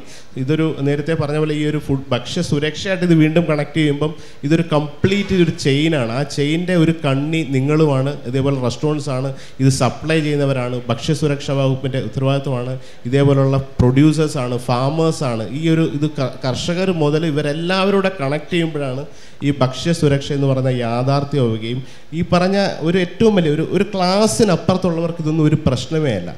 ഇതെല്ലാം എഫക്റ്റ് ചെയ്യുന്നത് താഴേക്കിടയിലുള്ള നിത്യവും മുന്നൂറ് രൂപയ്ക്കോ അല്ലെ അഞ്ഞൂറ് രൂപയ്ക്കോ ഒക്കെ ഈ തൊഴിലെടുക്കുന്ന അവർക്കാണ് ഇതെല്ലാം എഫക്റ്റ് ഒരിക്കലും ഒരു വലിയ ഒരു ഒരു ലക്ഷറി ആയിട്ട് എല്ലാ ദിവസവും ഫൈവ് സ്റ്റാർ ഹോട്ടലിലോ അല്ലെങ്കിൽ അതുപോലെ ഒരു ക്ലാസ് റെസ്റ്റോറന്റിൽ പോയി ഡൈൻ ചെയ്യാൻ പറ്റുന്നവർക്ക് വളരെ അപൂർവമായിട്ട് ഒരു ഫുഡ് പോയിസൺ അഥവാ ഒരു മോശം ഭക്ഷണം കഴിച്ച ഒരു വയറിന് അസുഖം വരുന്ന അല്ലാതെ വരുന്നത് പക്ഷെ ഇങ്ങനെയൊക്കെയുള്ളൊരു വരുന്നത് ഏറ്റവും പഴകിയ മാംസം അതിപ്പം അസുഖം അല്ലെങ്കിൽ മരണമൊന്നും ഇല്ലെങ്കിൽ പോലും അവർക്കാണ് ഇത് അഫോർഡ് ചെയ്യാൻ പറ്റുക. അപ്പോൾ ഈ സമൂഹത്തിലെ ഈ താഴേക്കിടയിലുള്ളവരുടെ ഒരു ജീവിതത്തിന്റെ നിലവാരം അടുത്ത ലെവലിലേക്ക് ഉയരാതെ ഈ ഒരു ഭക്ഷ്യസുരക്ഷ ഇവിടെ സാധ്യമാവില്ല. കാരണം മറ്റ് വിദേശ രാജ്യങ്ങളിൽ ഇപ്പം ഞാൻ ഒരു അഹങ്കാരം പറയല്ല ഒരു ലണ്ടനിലൊക്കെ അവിടുത്തെ ഒരു ക്ലീനിങ് ജോലി ചെയ്യുന്ന ഒരാൾക്കും അവിടുത്തെ ഒരു വലിയൊരു ബാങ്കിന്റെ സിഇഒയും ഒരേപോലെ ഒരു മക്ഡൊണാൾഡ്സിൽ പോയി അവർക്ക് ലഞ്ച് കഴിക്കാൻ പറ്റും. അവരുടെയൊക്കെ എല്ലാം ഒരൊറ്റ അതായത് ഒരു ഒരു ലഞ്ച് ചിലപ്പോൾ അവിടെ ഇപ്പോൾ ഒരു ബേസിക് ആയിട്ട് ഒരു ലഞ്ച് ഒരു സാൻഡ്വിച്ച് ഒരു കോഫി അല്ലെങ്കിൽ അങ്ങനെയൊക്കെ കഴിക്കും അല്ലെങ്കിൽ ഒരു മക്ഡൊണാൾഡ്സിന്റെ ഒരു ബർഗറോ ഒരു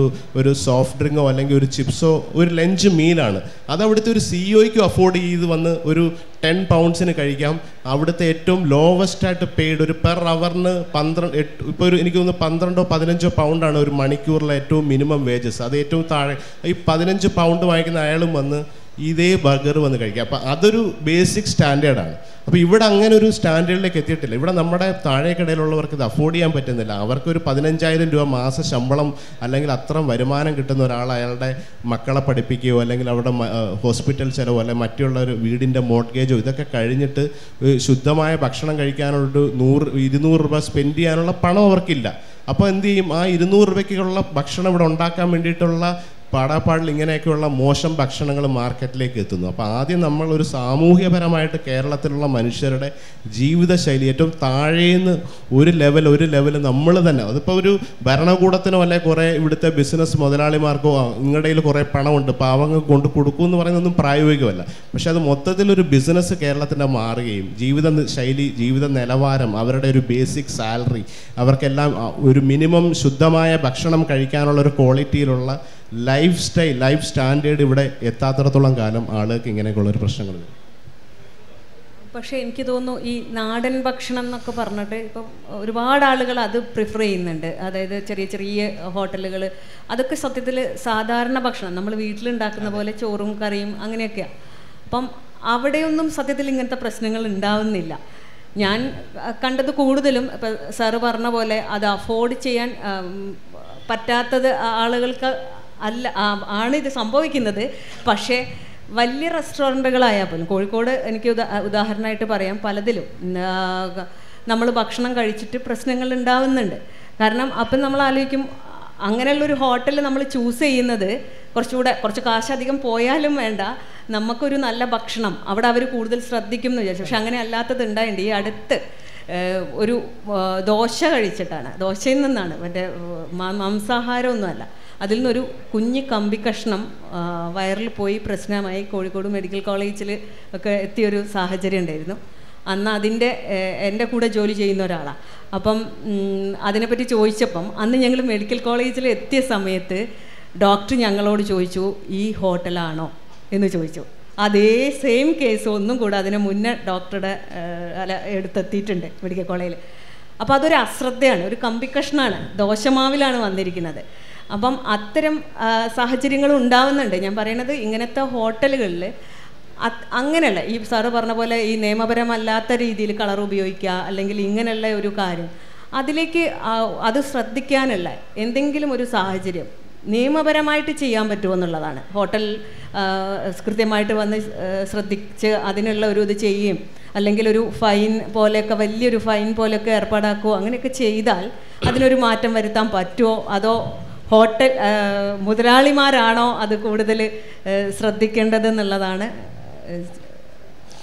തീർച്ചയായിട്ടും വലിയ തീർച്ചയായിട്ടും വലിയ മാറ്റങ്ങൾ ഉണ്ടാക്കാൻ പറ്റും. ഇപ്പോൾ ഈ ഒരു പർട്ടിക്കുലർ കേസ് എന്ന് പറഞ്ഞ ഒരു ഫോറിൻ ഇതൊരു ഇതൊരു ഭക്ഷ്യ വിഷബാധയല്ല ഇതൊരു നെഗ്ലിജൻസ് ആണ്. ഇതൊരു അവിടെ ചിലപ്പോൾ ഒരു പക്ഷേ പാത്രം കഴുകുന്ന അല്ലെങ്കിൽ ഈ സ്ക്രബ്ബറിനകത്തോടെ ഇട്ട് കഴുകുമ്പം ഇരുമ്പ് കമ്പി അല്ലെങ്കിൽ പൊടിയുന്ന പ്രൊഡക്റ്റ് ഉപയോഗിച്ച് പാത്രം കഴിവരുന്ന ഇപ്പം നമുക്കറിയാം ഒരു വലിയൊരു റെസ്റ്റോറന്റിൽ വലിയൊരു ചരുവത്തിലൊക്കെ ഇത് കുക്ക് ചെയ്യുന്ന സാധനം. അല്ലെങ്കിൽ ഇപ്പോൾ ദോശ മാവ് ഉണ്ടാക്കുകയാണ് ഗ്രൈൻഡറിൽ. മാവ് ഉണ്ടാക്കിയിട്ട് അത് കഴു ആ ഗ്രൈൻഡർ കഴുകും. ഗ്രൈൻഡർ കഴുകാൻ വേണ്ടിയിട്ട് കമ്പി പോലുള്ള ചെറിയ വീട്ടിലൊക്കെ ഉണ്ടാക്കുന്ന സ്ക്രബ്ബർ ഒരിക്കലും ആ ഒരു മെറ്റൽ അതിന്റെ പൊടിഞ്ഞു പോകുന്ന മെറ്റൽ സ്ക്രബ്ബർ വെച്ചിട്ട് ഇങ്ങനെയൊക്കെയുള്ള റെസ്റ്റോറന്റ്സിൽ ഉപയോഗിക്കാൻ പാടില്ല എന്നുള്ള കുറേ നിയമങ്ങളുണ്ട്. അല്ലെങ്കിൽ അങ്ങനെ ഹൈ ക്വാളിറ്റി ഉള്ള കാരണം ഇത് പെട്ടെന്ന് പൊടിഞ്ഞിട്ട് ചെറിയ ചെറിയ പീസ് ചിലപ്പോൾ ഈ ഭക്ഷ്യത്തിനകത്ത് വന്നിട്ട് ഇങ്ങനെ ഇങ്ങനെയുള്ള സംഭവങ്ങളൊക്കെ പല ഇപ്പോൾ ദോശമാവിനകത്ത് ഇപ്പോൾ ഒരു പർട്ടിക്കുലർ ഇൻസിഡന്റ് പറഞ്ഞുകൊണ്ടാണ്. അപ്പം ഇത് ഒരു നെഗ്ലിജൻസ് ലെവലിൽ വരുന്ന ഒരു കാര്യമാണ്. ഇതൊക്കെ തീർച്ചയായിട്ടും അവോയ്ഡ് ചെയ്യാൻ പറ്റുന്ന അല്ലെങ്കിൽ ആ ഒരു എസ് ഒ പി ചെയ്യാം. അപ്പോൾ ഇതൊരു ഈ ഒരു നിയമം ഇതിന്റെ ഒരു പ്രശ്നം വെച്ചാൽ ഈ ഒരു നിയമം ഭക്ഷ്യ ബാധയുണ്ട് ഇതൊരു സാധാരണ ഒരു തട്ടുകടയിലേക്ക് നമുക്ക് പറഞ്ഞാൽ അവരിതെങ്ങനെ ചെയ്യും? അവിടെ ചിലപ്പോൾ ഒരു ഒരു പാവം ഒരു ഒരാളായിരിക്കും ഒരു ഒരു ചിലപ്പോൾ ഒരു ചേട്ടൻ ഒറ്റയ്ക്ക് അല്ലെങ്കിൽ വൈകുന്നേരം ഒരു സ്റ്റാഫിന് വെച്ച് അയാൾ ഒറ്റയ്ക്ക് ചായ അടിക്കുന്നു അയാൾ ഒറ്റയ്ക്ക് പൊറോട്ട അടിക്കുന്നു കുറച്ച് കറി വീട്ടിൽ നിന്ന് ഉണ്ടാക്കി കൊണ്ടുവന്ന് വെച്ചിട്ട് പുള്ളി തന്നെ ക്യാഷ് വാങ്ങിച്ച് കൊടുക്കുന്ന ഉപജീവനം മറക്കുന്ന സാധാരണപ്പെട്ട കടക്കാരുമുണ്ട്. അപ്പോൾ അവരുടെ അടുത്തേക്ക് ഈ ഭക്ഷ്യസുരക്ഷയുടെ നിയമം പറഞ്ഞ് ചെന്നാൽ അവർക്കൊന്നും ഇത് അഫോർഡ് ചെയ്യാനോ ഇതൊന്നും പ്രാക്ടീസ് ചെയ്യാനോ ഒന്നും പറ്റില്ല. പിന്നെ ആകെയുള്ളൊരു ഏഹ്, ഇതിനകത്തേക്കുള്ളൊരു സേഫ്റ്റി എന്ന് വെച്ചാൽ അവരൊക്കെ ശരിക്കും നാടൻ ഭക്ഷണം അന്നുണ്ടാക്കുന്നത് അന്ന് തന്നെ വിറ്റ് തീർക്കുന്നു. അത് മാറ്റി വെച്ചിട്ട് വീണ്ടും പഴകിയിട്ട് വേറെ കൊടുക്കുന്നില്ല എന്നൊരു ഘട്ടം കൊണ്ടാണ് ഇതൊന്നും അപകടത്തിലേക്ക് പോകാതെ ഇപ്പം ഇന്നുണ്ടാക്കുന്ന ആളയാളുടെ കച്ചവടം നടന്നില്ല. അയാളെ തട്ടിക്കൊണ്ട് കളയായിരിക്കും പക്ഷെ അത് ലാഭത്തിന് വേണ്ടിയിട്ട് ഫ്രിഡ്ജൊന്നും ഇല്ലാതെ കുറേ സമയത്ത് വെളി വെച്ചിട്ട് വീണ്ടും ഒരാൾക്ക് കൊടുക്കാൻ പോയി കഴിഞ്ഞാലാണ് ഈ ഒരു അപകടങ്ങൾ വരുന്നത്. അപ്പോൾ തീർച്ചയായിട്ടും ഇങ്ങനെയൊക്കെയുള്ളൊരു നിയമങ്ങൾ ഇപ്പോൾ വിദേശ രാജ്യത്ത് ഇപ്പോൾ ഒരു റെസ്റ്റോറന്റിൽ ഒരു ഫൈൻ ഒരു ചെക്കപ്പ് വന്നാൽ ഇപ്പോൾ ഇവിടെ പ്രത്യേകിച്ച് ഇവിടെയൊക്കെ നമ്മൾ കാണുന്നത് എന്താണ്? ആ ഈ കുറേ ഹോട്ടലുകൾ പൂട്ടി അല്ല പിടിച്ചു റെയ്ഡ് ചെയ്തു കുറേ ഭക്ഷണത്തിന്റെ പഴകിയ ഭക്ഷണത്തിന്റെ ഫോട്ടോ. അത് ഒരിക്കലും ഒരു ഒരു നല്ലൊരു രീതിയായിട്ടല്ല വിദേശ രാജ്യങ്ങളൊക്കെ പറയും ഇപ്പം നിങ്ങൾ തന്നെ കണ്ടു നോക്കും നിങ്ങളൊരു സാധാരണ മനുഷ്യനാണ്. നിങ്ങളൊരു നാലഞ്ച് വാർത്തകൾ കണ്ടാൽ ഇതുപോലെ പഴകിയ ഭക്ഷണം പിടിച്ചു എന്ന് പറയാൻ നമുക്ക് വീണ്ടും പിന്നെ ഒരു ഭക്ഷണം കഴിക്കാനുള്ള ത്വര തന്നെ പോവും. പേടിച്ചിട്ടാണ് നിങ്ങൾ കഴിക്കുക. ഇപ്പോൾ പേടിയോടല്ല. നമ്മൾ ആദ്യം പറഞ്ഞ പോലെ നമ്മൾ മനസ്സുകൊണ്ട് സന്തോഷം കണ്ടെത്തുന്നത് ആഹാരം കഴിക്കുന്ന ആ ഒരു അഞ്ച് നിമിഷം കൊണ്ട് അല്ലെ അഞ്ച് മിനിറ്റ് കൊണ്ട് നിങ്ങളുടെ ഒരു ഒരു ഫൈവ് മിനിറ്റ്സ് ഭയങ്കര സ്ട്രെസ്സ് പിടിച്ച ഒരു ലൈഫിൽ അല്ലെങ്കിൽ ഒരു ലഞ്ച് ടൈമിൽ പോയിരുന്ന ഒരു ഊണ് കഴിക്കുമ്പം നമുക്കൊരു സമാധാനമായിട്ട് ഒരു ഊണ് കഴിക്കുന്ന അഞ്ച് മിനിറ്റ്. അപ്പോൾ അഞ്ച് മിനിറ്റ് നിങ്ങളുടെ ചിന്ത വരുവാണ്. ഓ ഇതിപ്പോൾ ചിലപ്പം നിങ്ങൾ കോഴിക്കോട്ടിരുന്ന് കഴിക്കായിരിക്കും. ആ കൊച്ചിയിൽ ആ ഒരു റെസ്റ്റോറന്റിൽ ഇതുപോലെ പഴകിയ മീറ്റ് അല്ലെങ്കിൽ പഴകിയ ചിക്കൻ വെച്ചിട്ട് അല്ലെങ്കിൽ പഴകിയ മീൻ വെച്ചിട്ട്. അപ്പോൾ ആ ഒരു ചിന്ത ഏതൊരു മനുഷ്യനും വരും. അപ്പോൾ സാധാരണയൊക്കെ ഒരു വിദേശ രാജ്യങ്ങളിൽ ഒരു റെസ്റ്റോറന്റ് പൂട്ടിക്കുന്ന ഘട്ടം എത്തുമ്പോൾ അവർ പൂട്ടിക്കുകയാണ്. ഒരിക്കലും അവർ ഒരു ചിത്രങ്ങൾ ആദ്യം വന്ന് അവർ നോക്കും. ഇത് എത്രമാത്രം മോശമായിട്ടാണ്. അല്ലെങ്കിൽ അവർക്ക് വാണിംഗ് കൊടുത്ത് ആദ്യത്തെ ഒരു ഘട്ടത്തിലേക്ക് എത്തിക്കുന്നു. വീണ്ടും ഒരു തവണ വാണിംഗ് കൊടുത്ത റെസ്റ്റോറന്റിൽ റാൻഡമിലി ചെക്കപ്പിന് വരുന്നു. പിന്നീട് അവരുടെ രണ്ടാമത് കണ്ടാൽ ഒരു ഫൈൻ കൊടുക്കുന്നു. മിന്നത്തെ ഒരു കേസിൽ ഒരു ഭീമമായ ഫൈനാണ് അതായത് ഒരു വർഷം അയാൾ ജോലി ചെയ്ത് ആ സ്ഥാപനം ഓട്ടിച്ചാൽ ഉണ്ടാക്കുന്ന ലാഭത്തിനെക്കാട്ടിൽ ട്വന്റി പെർസെന്റേജ് മോറ് വരുന്ന ഒരു കനത്ത ഫൈനായിരിക്കും ആ ഒരു ഫൈൻ കിട്ടിയാൽ അയാൾക്ക് ഒന്നുകിൽ അയാൾ അവിടെ വെച്ച് പൂട്ടി അയാൾ സ്വയമായിട്ട് പോകും അല്ലെങ്കിൽ പിന്നെ ഒരിക്കലും അയാൾ അതായത് ആ ബിസിനസ് അയാളുടെ റെപ്യൂട്ടേഷനെ ബാധിക്കും അല്ലെങ്കിൽ അങ്ങനെ വരുന്നുണ്ടെങ്കിൽ അയാൾ പിന്നെ ഒരിക്കലും അവിടെ അങ്ങനെ ഒരു മോശം ചെയ്യില്ല. ഇപ്പോൾ ഒരു ഗൾഫ് നാടുകളിൽ ഏറ്റവും ഞാൻ വേറെ യൂറോപ്പിലെ കാര്യം പറയുന്നേ ഇല്ല. ഗൾഫിൽ നിങ്ങൾ എത്ര റെസ്റ്റോറന്റ്സിന് മലയാളികൾക്ക് എത്ര റെസ്റ്റോറന്റ്സ് ഉണ്ട് അവിടെ? അവിടെയൊക്കെ വളരെ അപൂർവമായിട്ട്. കാരണം ഈ ഫൈനൊക്കെ എത്തിയിട്ടുണ്ട്. ഒരിക്കലും ഒരു ക്ലോസറിലേക്ക് എത്തുന്നത് ലാസ്റ്റ് ഘട്ടമാണ്.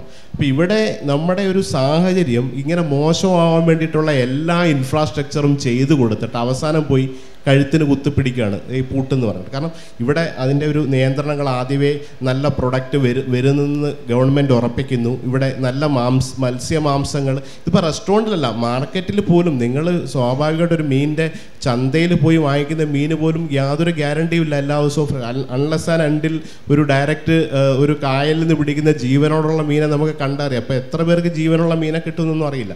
അല്ലാതെ ഒരു മാർക്കറ്റിൽ ചന്തയിൽ ഇരിക്കുന്ന മത്സ്യമൊന്നും വളരെ സുരക്ഷിതമാണെന്നോ അല്ലെങ്കിൽ അതിനകത്ത് എന്തെങ്കിലും കെമിക്കൽ ചേർന്നതൊന്നും ഒരു ഗ്യാരണ്ടി നമുക്കില്ല. പക്ഷെ നിങ്ങളൊരു ഗൾഫിൽ പോയവർക്കറിയാം. അവിടുത്തെ ഒരു മാർക്കറ്റിൽ every two hours automatically check ചെയ്യുന്നു. ആ ഫിഷിന്റെ ടെമ്പറേച്ചർ നോക്കുന്നു. ഇത്ര ടെമ്പറേച്ചറിന് അധികമാണെങ്കിൽ അവിടെ കനത്ത ഫൈനാണ് ഒരിക്കൽ പോലും ഒരു മോശം മീൻ അവർക്ക് അവിടെ കൊണ്ട് വെക്കാൻ പറ്റില്ല. വെച്ച് കഴിഞ്ഞാൽ അയാൾ ഒരു ആറ് മാസം ഉണ്ടാക്കിയ പൈസയായിരിക്കും ഫൈനായിട്ട് വരിക. അതിലും വലിയ ശിക്ഷയാണെങ്കിൽ ജയിലിൽ വരെ പോകേണ്ട അവസ്ഥയാണ്. അപ്പോൾ അങ്ങനെയൊക്കെയുള്ള റൂൾ വരുമ്പോൾ ഓട്ടോമാറ്റിക്കലി ഏറ്റവും സേഫായിട്ടുള്ളത് വരും. ഇവിടെ അങ്ങനെ അത്രയ്ക്ക് കർശനമായ നിയമങ്ങളൊന്നും കൊണ്ടുവരുന്നില്ല. അപ്പോൾ ശരിക്കും പറഞ്ഞാൽ ഈ ഭക്ഷണത്തിന്റെ കാര്യത്തിൽ വളരെ കർശനമായ നിയമങ്ങൾ എത്തിയാൽ ഓരോ കാര്യത്തിനും ഇത് എല്ലാവരും കാരണം ആദ്യത്തെ ഒരു രണ്ട് വർഷം മാത്രമേ ഉണ്ടാവുള്ളൂ ഈ പേടി. അത് കഴിഞ്ഞ് ഈ ഇൻഡസ്ട്രിയിലേക്ക് വരുന്നവർ ഓട്ടോമാറ്റിക്കലി അറിയാം ഇങ്ങനെയാണ് ഇവിടെ ചെയ്യേണ്ടത്. പിന്നീട് ഇതൊരു സ്വാഭാവികമായ കാര്യമാണ്.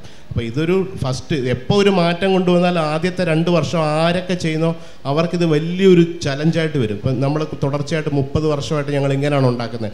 പെട്ടെന്ന് ഈ നിയമം മാറ്റി പെട്ടെന്ന് സ്റ്റാഫിന് മൊത്തം യൂണിഫോം കൊടുക്കണം അല്ലെങ്കിൽ അവിടെ കുറച്ചുകൂടെ ഫ്രിഡ്ജോ ഫ്രീസറോ വാങ്ങിച്ചു വെക്കാൻ പറയും. ഇതൊക്കെ ഒരു ഭീമമായ എക്സ്പെൻസ് ആയിട്ട് വരും. പക്ഷേ ഇതാണ് നിയമം. ഒരു രണ്ട് വർഷം കഴിയുമ്പോൾ ഇത് എല്ലാം നാച്ചുറലായിട്ട് മാറും. പിന്നെ പറയാറുണ്ടല്ലോ വിരുദ്ധാഹാരം. പണ്ടുള്ളവർ പറയുന്ന ഒരു കാര്യമാണ്. ഈ പറഞ്ഞ പോലെ തൈരും ചിക്കനും തൈരും മീനും ഇതൊന്നും തമ്മിൽ ചേരില്ല. ഇത് കഴിച്ചാൽ നമുക്ക് പ്രശ്നമാണ്. നമ്മുടെ ഹെൽത്തിന് പ്രശ്നമാണ്. അതിലെന്തെങ്കിലും സത്യമുണ്ടോ? അതെനിക്ക് ഒരു എനിക്ക് എനിക്ക് ഇപ്പോഴും തോന്നിയിട്ടില്ല. കാരണം ഈ ഒരു ഒരുപാട് രാജ്യങ്ങളിലൊക്കെ യാത്ര ചെയ്ത് കഴിയും ഇപ്പം നമ്മൾക്കിപ്പോൾ അറിയാം കേരളത്തിൽ നമ്മൾ കേട്ടിട്ടുണ്ട് പാലും മീനും കൂടെ കഴിക്കാൻ പാടില്ല. അല്ലെങ്കിൽ പാൽ മീനും സീ ഫുഡും തൈര് ചേർന്ന സംഭവങ്ങൾ കഴിക്കാൻ പാടില്ല. അങ്ങനെ പല വിരു നമുക്ക് ആയുർവേദം പക്ഷേ ഇതൊന്നും എത്രമാത്രം സയന്റിഫിക്കലി പ്രൂവ് ആണെന്നൊന്നും പറയാൻ പറ്റില്ല. പക്ഷേ ഇത് എനിക്ക് തോന്നുന്നത് ഇത് ഓരോ ഭൂപ്രകൃതി അനുസരിച്ച് നമ്മൾ ജീവിക്കുന്ന സാഹചര്യം അനുസരിച്ചിട്ടുണ്ടാക്കുന്ന നിയമങ്ങളായിരുന്നു അല്ലെങ്കിൽ എന്നാണ് തോന്നിയത്.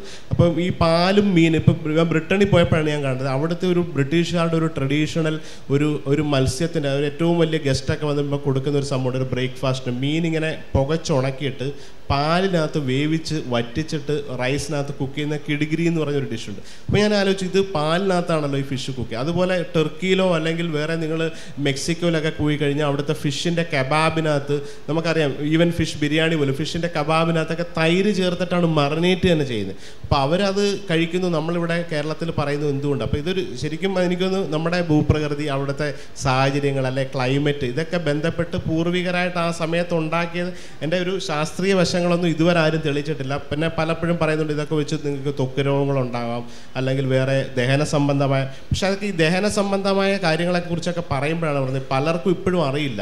ഈ ലാക്ടോസ് നേരത്തെ പറഞ്ഞ പോലെ ഇപ്പോൾ നമുക്ക് പലർക്കും ഫുഡിന്റെ അലർജി ഉള്ളത് മലയാളികൾ ഈ അലർജിയൊക്കെ വെച്ചുകൊണ്ടിരിക്കുകയാണ്.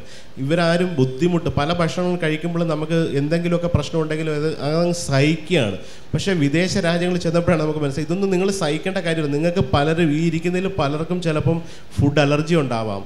അല്ലെങ്കിൽ ഇൻടോളറൻസ് ഉണ്ടാവാം. ഇപ്പോൾ ഈ ലാക്ടോസ് ഇൻടോളറൻസ് എന്ന് പറഞ്ഞ ഒരു സംഭവമൊക്കെ ഞാൻ അവിടെ ചെന്നപ്പോൾ നമ്മളൊരു മെനു ക്രിയേറ്റ് ചെയ്യുമ്പോൾ ഇതെല്ലാം വെച്ചിട്ടാണ് കൊടുക്കേണ്ടത്. അപ്പോൾ എനിക്കിതൊന്നും അറിയത്തേ ഇല്ല അവിടെ ഒരു ഫിഷ് ഇപ്പോൾ ഒരു പ്രോ നമ്മളൊരു മെനു വെക്കുമ്പം അതിനകത്ത് എന്തൊക്കെ അലർജൻസ് ആണ് എന്തൊക്കെയാണ് ഇൻടോളറൻസ് വരുന്നത്? ലാക് ഇപ്പോൾ ഗ്ലൂക്കോസ് ഇൻടോളറൻസ് അതെന്താണ്? അല്ലെങ്കിൽ ലാക്ടോസ് ഇൻടോളർ പാലുൽപ്പന്നങ്ങൾ കഴിച്ചാൽ എന്തെങ്കിലുമൊക്കെ പ്രശ്നമാവുന്ന ഒരുപാട് ആൾക്കാരുണ്ട്. ചിലപ്പോൾ നിങ്ങളിൽ ആരെങ്കിലുമൊക്കെ നിങ്ങളതൊന്ന് ടെസ്റ്റ് ചെയ്ത് മനസ്സിലാവും ഞാൻ ഈ പാലോ അല്ലെങ്കിൽ ചായയോ കുടിക്കുന്ന മൂലമുള്ള പല പ്രശ്നങ്ങളുണ്ട്. അത് ഒഴിവാക്കിയാൽ നിങ്ങൾക്ക് സുഖസുന്ദരമായിട്ട് ജീവിക്കാം. അപ്പോൾ അത് നമ്മൾ അറിയാണ്ട് ഡെയിലി ബുദ്ധിമുട്ടി പാൽ ഉൽപ്പന്നങ്ങളോ അല്ലെങ്കിൽ അങ്ങനെയൊക്കെയുള്ള ഡയറി പ്രൊഡക്ട്സിന്റെ അലർജിയുള്ള ഒരുപാട് ആൾക്കാർ നമ്മുടെ സമൂഹം നമുക്ക് ആരും ഇത് അറിയാണ്ടാണ് ഇത് കഴിച്ചുകൊണ്ടിരിക്കുന്നത്. അപ്പോൾ ഈ ഇൻടോളറൻസ് അലർജി എന്നൊക്കെ പറഞ്ഞ പോലുള്ള സംഭവങ്ങളെക്കുറിച്ച് ഉള്ള അറിവുകൾ അതൊക്കെ നമ്മൾ തന്നെ സ്വയം നമ്മുടെ ഈ നേരത്തെ പറഞ്ഞ പോലെ ഒരു ലോങ്ങർ ലൈഫിൽ ഭക്ഷണം മൂലം ഒരുപാട് പ്രശ്നങ്ങൾ നല്ലതും ചീത്തയും ഒരു മിക്കതും ഭക്ഷണം മൂലമാണ്. ബാക്കി ഒരു നിങ്ങൾക്ക് ഒരു ജീവിതത്തിൽ പ്രശ്നം ഉണ്ടാകുന്ന നിങ്ങൾ യാത്ര ചെയ്യുമ്പോൾ ഒരു ആക്സിഡന്റ് ഉണ്ടാകുന്നു. അല്ലെങ്കിൽ അങ്ങനെയൊക്കെയുള്ള വല്ല ഇവന്റിൽ വെച്ച് മാത്രമാണ് നമുക്ക് അല്ലാതുള്ള പ്രശ്നം. ബാക്കി ഒരു ഒരുപാട് ജീവിത പ്രശ്നങ്ങളെല്ലാം ഈ ഭക്ഷണമായിട്ട് ബന്ധപ്പെട്ട് നമ്മൾ ചെറുപ്പം മുതൽ കഴിച്ചതും അല്ലെങ്കിൽ അത് തുടർച്ചയായിട്ട് ഒരു പത്ത് വർഷം കഴിച്ചതിന്റെ എന്തെങ്കിലുമൊക്കെ പ്രശ്നം കൊണ്ട് വീണ്ടും ഒരു അസുഖം ഉണ്ടാകുന്നു അതിന് പിന്നെ കോംപ്ലിക്കേറ്റഡ് ആവുന്നു ഏറ്റവും കൂടുതൽ ഇപ്പോൾ പറഞ്ഞാൽ തന്നെ പ്രമേഹം നമുക്കറിയാം. ഡയബറ്റിക് ആയിട്ടുള്ള ഏതൊരു വീട്ടിൽ പോയാൽ ഏതെങ്കിലും ഒരാളെങ്കിലും ഒരു ഡയബറ്റിക് പേഷ്യന്റ് ആവും.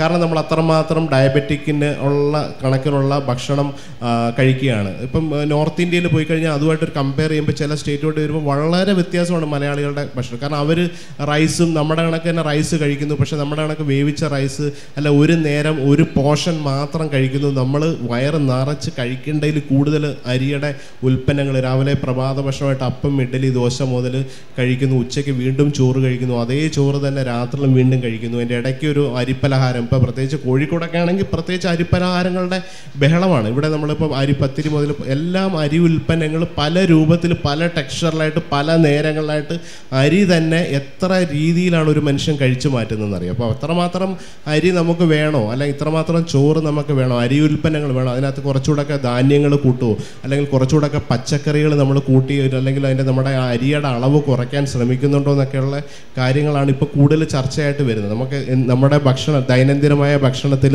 നിങ്ങൾ ഈ ചോറ് കൂടുതൽ കഴിച്ച് നമ്മുടെ നമ്മുടെ ബ്രെയിനിനെ ഹാപ്പിയാക്കാണ് നമ്മുടെ ബോഡിക്ക് വേണ്ടിയിട്ട് നമ്മുടെ ബ്രെയിൻ ചോറ് കൂടുതൽ നല്ല മീൻകറി നല്ല എരിവുള്ള ഒരു അടിപൊളി മീൻകറിയും കൂട്ടി ചോറ് ഉരുട്ടി കഴിച്ച് ഒരു മീൻ പൊരിച്ചിട്ട് കഴിക്കുമ്പോൾ നമുക്ക് വയറ് ഭയങ്കരമായിട്ട് സന്തോഷം കിട്ടും. പക്ഷേ ഇത്രമാത്രം ചോറ് നമുക്ക് ആവശ്യമാണോ? അല്ലെങ്കിൽ നിങ്ങൾക്ക് ചോറിന് പകരം ഓൾട്ടർനേറ്റീവായിട്ട് ഇപ്പോൾ ജർമ്മനിയിൽ ഒരു ഏറ്റവും വലിയതെന്ന് വെച്ചാൽ കോളിഫ്ലവർ റൈസ് എന്നാണ് പറയുക റൈസ് മൊത്തം ഒഴിവാക്കിയിട്ട് ഈ കോളിഫ്ലവർ നമ്മുടെ കോളിഫ്ലവർ ചെറുതായിട്ട് ഒന്ന് ചിരണ്ടി എടുത്തിട്ട് നല്ലപോലെ ഗ്രേറ്റ് ചെയ്തെടുത്തിട്ട് അതിനെ ഒന്ന് സ്റ്റീം ചെയ്തിട്ട് അത് ചോറായിട്ടാണ് ഉപയോഗിക്കുന്നത്. അതിനകത്ത് കറി ഒഴിച്ച് കഴിക്കുകയാണ്. നിങ്ങളല്ലെങ്കിൽ ഒന്ന് ഗൂഗിളിൽ സെർച്ച് ചെയ്ത് നോക്കൂ വാട്ട് ഈസ് കോളിഫ്ലവർ റൈസ് എന്ന്. അപ്പോൾ കോളിഫ്ലവർ റൈസിന്റെ ഓൾട്ടർനേറ്റീവായിട്ട് ജർമ്മനിയിലുള്ള ആൾക്കാർ കഴിക്കുകയാണ്. വളരെ ഹെൽത്തി ആയിട്ട്. പക്ഷെ ആദ്യം നമ്മൾ ഈ കോളിഫ്ലവറിന്റെ ഒരു മണം അങ്ങനെ വരുമ്പോൾ നമുക്ക് ഇഷ്ടപ്പെട്ടില്ല. പക്ഷേ അത് നാല് ദിവസമൊക്കെ കഴിച്ചവർ പിന്നീട് എല്ലാ റെസ്റ്റോറന്റിലും വന്ന് കോളിഫ്ലവർ റൈസാണ് കഴിക്കുന്നത് ഇപ്പം. കോളിഫ്ലവർ റൈസും മീൻ മീൻകറിയും. അതായത് കോളി ജസ്റ്റ് ഈ പറഞ്ഞ നിങ്ങൾക്ക് സംശയം ഉണ്ടെങ്കിൽ ഗൂഗിളിലൊന്ന് നോക്കിയാൽ റൈസിന്റെ ഓൾട്ടർനേറ്റീവായിട്ട് ഇപ്പോൾ യൂറോപ്പിലല്ല ഏറ്റവും കൂടുതൽ ആൾക്കാർ കഴിക്കുന്നത് കോളിഫ്ലവർ ഗ്രേറ്റ് ചെയ്തിട്ട് സ്റ്റീം ചെയ്തോ അല്ലെങ്കിൽ ജസ്റ്റ് സോട്ട് ചെയ്തിട്ടോ അല്ലെങ്കിൽ പച്ചയ്ക്കോ കഴിക്കാറുണ്ട് കറിയൊക്കെ കൂട്ടിയിട്ട്. അപ്പോൾ പലതരത്തിലുള്ള റെസിപ്പി ഇപ്പം യൂട്യൂബിലൊക്കെ അവൈലബിൾ ആണ്. അപ്പം അങ്ങനെയൊക്കെയുള്ള രീതിയിലാണ് മലയാളികൾ ഈ അരിയെല്ലാം കൂടെ കഴിച്ച് കഴിച്ച് കഴിച്ച് ലോകത്തിന്റെ പ്രമേഹ രോഗികളുടെ ക്യാപിറ്റലായിട്ട് കേരളം മാറിക്കൊണ്ടിരിക്കുന്നത് ഇനി നമുക്ക് ഓഡിയൻസിലേക്ക് പോവാം. ഓക്കെ അപ്പോൾ സദസ്സിൽ നിന്നും ചോദ്യങ്ങൾ വരാം. ചോദ്യം ചോദിക്കുന്നവർ പരമാവധി ചുരുക്കി ചോദിക്കുക കേട്ടോ.